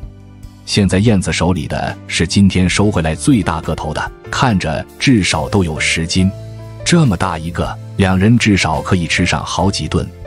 别说是我们，就连小花也是第一次接触竹笋的这种制作方法，蹲在燕子旁边，很认真的在学。燕子说，仿佛都看到了自己小时候的样子。竹笋皮全部清理掉，出门直接倒在院里的角落就可以。其实应该在山上就把皮去掉，这样回来的时候也就不会产生很多垃圾。山上的竹笋很是多。一直吃都不会吃腻，只不过要经常变换着方法吃。认识燕子以后，最近也才吃过几次而已。中间吃木薯还吃了三天，也度过了几天困难的时间。现在一切都好了，小花身体恢复健康，并且还可以帮助燕子干活。接下来有时间的时候，直接就可以下山赚钱。两人手里拿着的刀也是在山上砍柴用的。平时做饭切菜还是跟国内有很大的区别，盆里面都已经堆积成小山，幸好也快加工完。这样一会，燕子在山上拿回来的竹子也就派上了用场。手里的大竹子直接锯断以后，当做装竹笋的工具，这样也就省了钱买桶。这不就是最天然的制作储存方法？小花直接坐在竹子上面，在家里多一个人，用处还是非常的大。至少不会无聊，无论干什么事情都有一个人陪着。就算是不干活，小花在一旁待着，燕子也会感到很幸福。四根竹子全部清理干净，回屋以后需要把加工好的竹笋全部放到竹筒里面。这样的制作方法，或许你会有很多的疑问，但是没有关系，想说什么直接在评论区聊聊。或许屏幕前的你以前也有过这种制作经历，大家感觉这种方法可以存多少时间不会坏？家里除了盐巴也没有多余的可以放的调料，一大盆竹笋用不了几分钟就可以全部放进去。有了今天的储备，明天燕子计划还是在家里忙碌家，暂时还不计划去卖东西挣钱。四个竹筒还是刚刚好。现在两人的位置以前就是室外，燕子利用两天的时间，直接就改造出来一个厨房。最后竹筒里面再放满水。大家感觉这种做法行不行？能不能存的时间久一点？以后的生活中，我们也可以观察下四个竹子竹笋，两人可以吃多长时间？剩余最后一根全部放上水以后，当然还不算完成，最后还需要再隔绝空气，不然也不会存的时间长。现在用的封口的叶子，同样也是在山上摘回的。家里除了米需要花钱。其余的都没有一点花钱的地方，并且燕子今年也种植了很多米，收获以后至少都可以吃一年的时间。所以说挣钱以后全部攒起来，就等着盖新房用。最后一根完成，这样今天的全部计划任务就已经搞定，又是很充实的一天。小花自己也又学到了很多方法，放到厨房的角落，想什么时候吃都可以。最后再清理下地上的垃圾，整个过程是不是很简单？你学会了没有？如果你身边有先天的优势条件，自己也可以试试。一起在村口卖东西，以前从来没有过，今天会不会很顺利呢？反正最近两人的生活是很平淡，一切正常。小花的身体也调整好了，好长时间都没有生病。早上吃饭以后，直接就到了自己家房子后面的山上。也是时候到了开始挣钱的时候，因为燕子一直有个想法，就是要改造自己家里的房子。来了以后，地上叫不上来的红色果子，也就成了今天的采摘目标。越南山上到处都有好东西，同时很多也是国内也都没有见过的东西，有时候看起来就比较稀奇。小花也不闲着，帮忙一块传递一块，在筐里面放，红彤彤的收获，看起来也很是多。第一次下山卖东西，所以也就不打算采摘非常多。今天也算是下山体验卖东西，找找感觉。扭头燕子又直接开始砍竹子，这是要干什么？后面才知道，原来是小花口渴，直接砍了竹子就当做水杯来用。两人在山上喝水都变得非常的有情调，所以无论什么时候上山，根本就不用带水杯。当然，如果想带的话，家里也没有呀。家里的狗子也是一块跟着上来，不留在家里看着自己家，每次都是主动的偷偷跟着燕子。一会回家以后，还需要再把今天的收获整理好。好久一直都是在家里没有出门，也已经很长时间都没有挣钱。现在的生活也算是稳定，所以燕子也就想着趁着田里没有活的时候多挣钱，将来计划让小花到学校去读书。以后买书买衣服会有很多花钱的地方。回来以后，大家也仔细看看地上的东西叫什么名字。就算是燕子告诉以后，也很难翻译成汉语告诉大家。感觉平时大家肯定也是对这种东西非常的少见。看着收的不多，回来整理好以后，感觉也挺多。燕子说，以前自己一个人生活的时候，基本就是靠着种田生活。其实也很少下山卖东西挣钱，但是现在已经不同。家里有了小花以后，燕子也就变得更加的勤快。眼前青色的果子很像是缩小版的杨桃，就是感觉个头有点太小了。一会到了村里，看看今天的售卖情况怎么样。以前燕子总是独来独往，现在有了小花，燕子其实也很是害怕村里人说三道四的。临走以前，小花还不忘记看看自己的小羊。一会下山的时候还不确定什么时候可以回来。对了，燕子本身就是单身，加上有了小花以后，自己再次的想找对象都成了问题。好在燕子看得比较开，家里有了小花，反而燕子感觉自己的生活变得更加的充实。相对于以前被上一个男朋友欺骗的时候，燕子也悟出了很多的东西，都已经是过去式，燕子也不想再多提了。到了村里，随便就找了一个地方，在村里卖山上的山货。大家感觉会不会很容易呢？其实具有非常大的挑战性。大概过了十分钟，直接来了三个年轻人过来。就这么一会，其实路过两人跟前的人很是多，但是看到卖的东西，直接就扭头走了。如果闲着没事，多花费点时间上山，还是很容易得到的。一个人买了一袋走了，这样跟前也就剩余最后一袋。还需要再慢慢的等着，但是什么时候可以卖出去，真是要全靠今天的运气。路过的人还有远处的人，似乎也挺多，但是就是对他们的东西不感兴趣。不过至少也卖出来不少，燕子手里也一直拿着今天挣的钱，这么多天也算是见到了回头钱。以后继续努力，多上山走走，总是会有机会的。为了不让小花等得无聊。家里也还有很多活，所以也就直接收了。以后想什么时候卖都可以。自己家的小竹子房，距离附近村里也就是十分钟的路程，也不算远。以后有的是机会。这不，很快就已经到了大门口。狗子没有跟着去，一直在家里看家。家里有鸡、鸭、鹅，还有小羊，所以也不能长时间的让家里没有人，不然这样就容易出问题。几只小鸭子也是前几天买的。小花对这些东西很是感兴趣，每天不多看几遍，心里就难受。毕竟也还只是一个孩子。回来以后，一起坐在小床上面。燕子上山以前还不忘记再次的把钱拿出来，准备放到家里面，很是害怕上山的时候丢了。虽然不多，但是也是他们付出几个小时的时间换回来的。燕子拿上刀，准备上山，告诉小花在家里待着，哪里也不能去，这样自己在山上的时候也才会放心。一大片的竹林，现在也只有竹子可以利用，地上一个竹笋也看不到，有免费的竹子可以用，家里改造的时候也就不用额外的多花钱。燕子在山上忙碌，大家感觉家里的小花会不会闲着住，在家里又会干什么呢？我们一起来看看。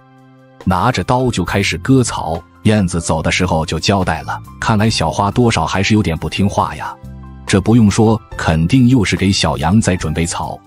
别看小花个子小，但是干活的时候全身都是劲。燕子不带着它上山，就是想让它多休息。谁又会想到这哪里闲得住呀？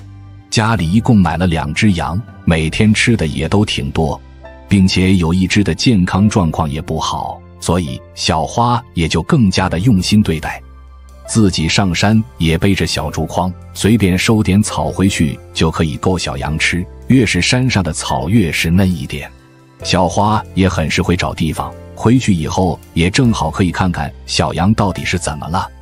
自己打不开门，干脆就直接翻墙进去，里面是一只比较小的羊。买回来其实也没有多长的时间。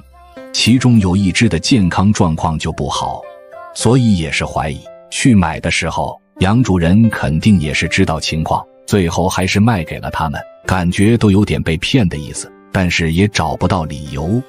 小花还小，一边喂，自己的眼泪哗哗的就下来了，看起来也比较伤心。燕子现在也没有在家，放上草以后就赶紧回屋休息吧。一会燕子回来找不到，又该着急了。看着孩子伤心，燕子肯定也不会好受的。临走还不忘记给羊多放上一点。又是平淡的一天，时间过得也真是太快了。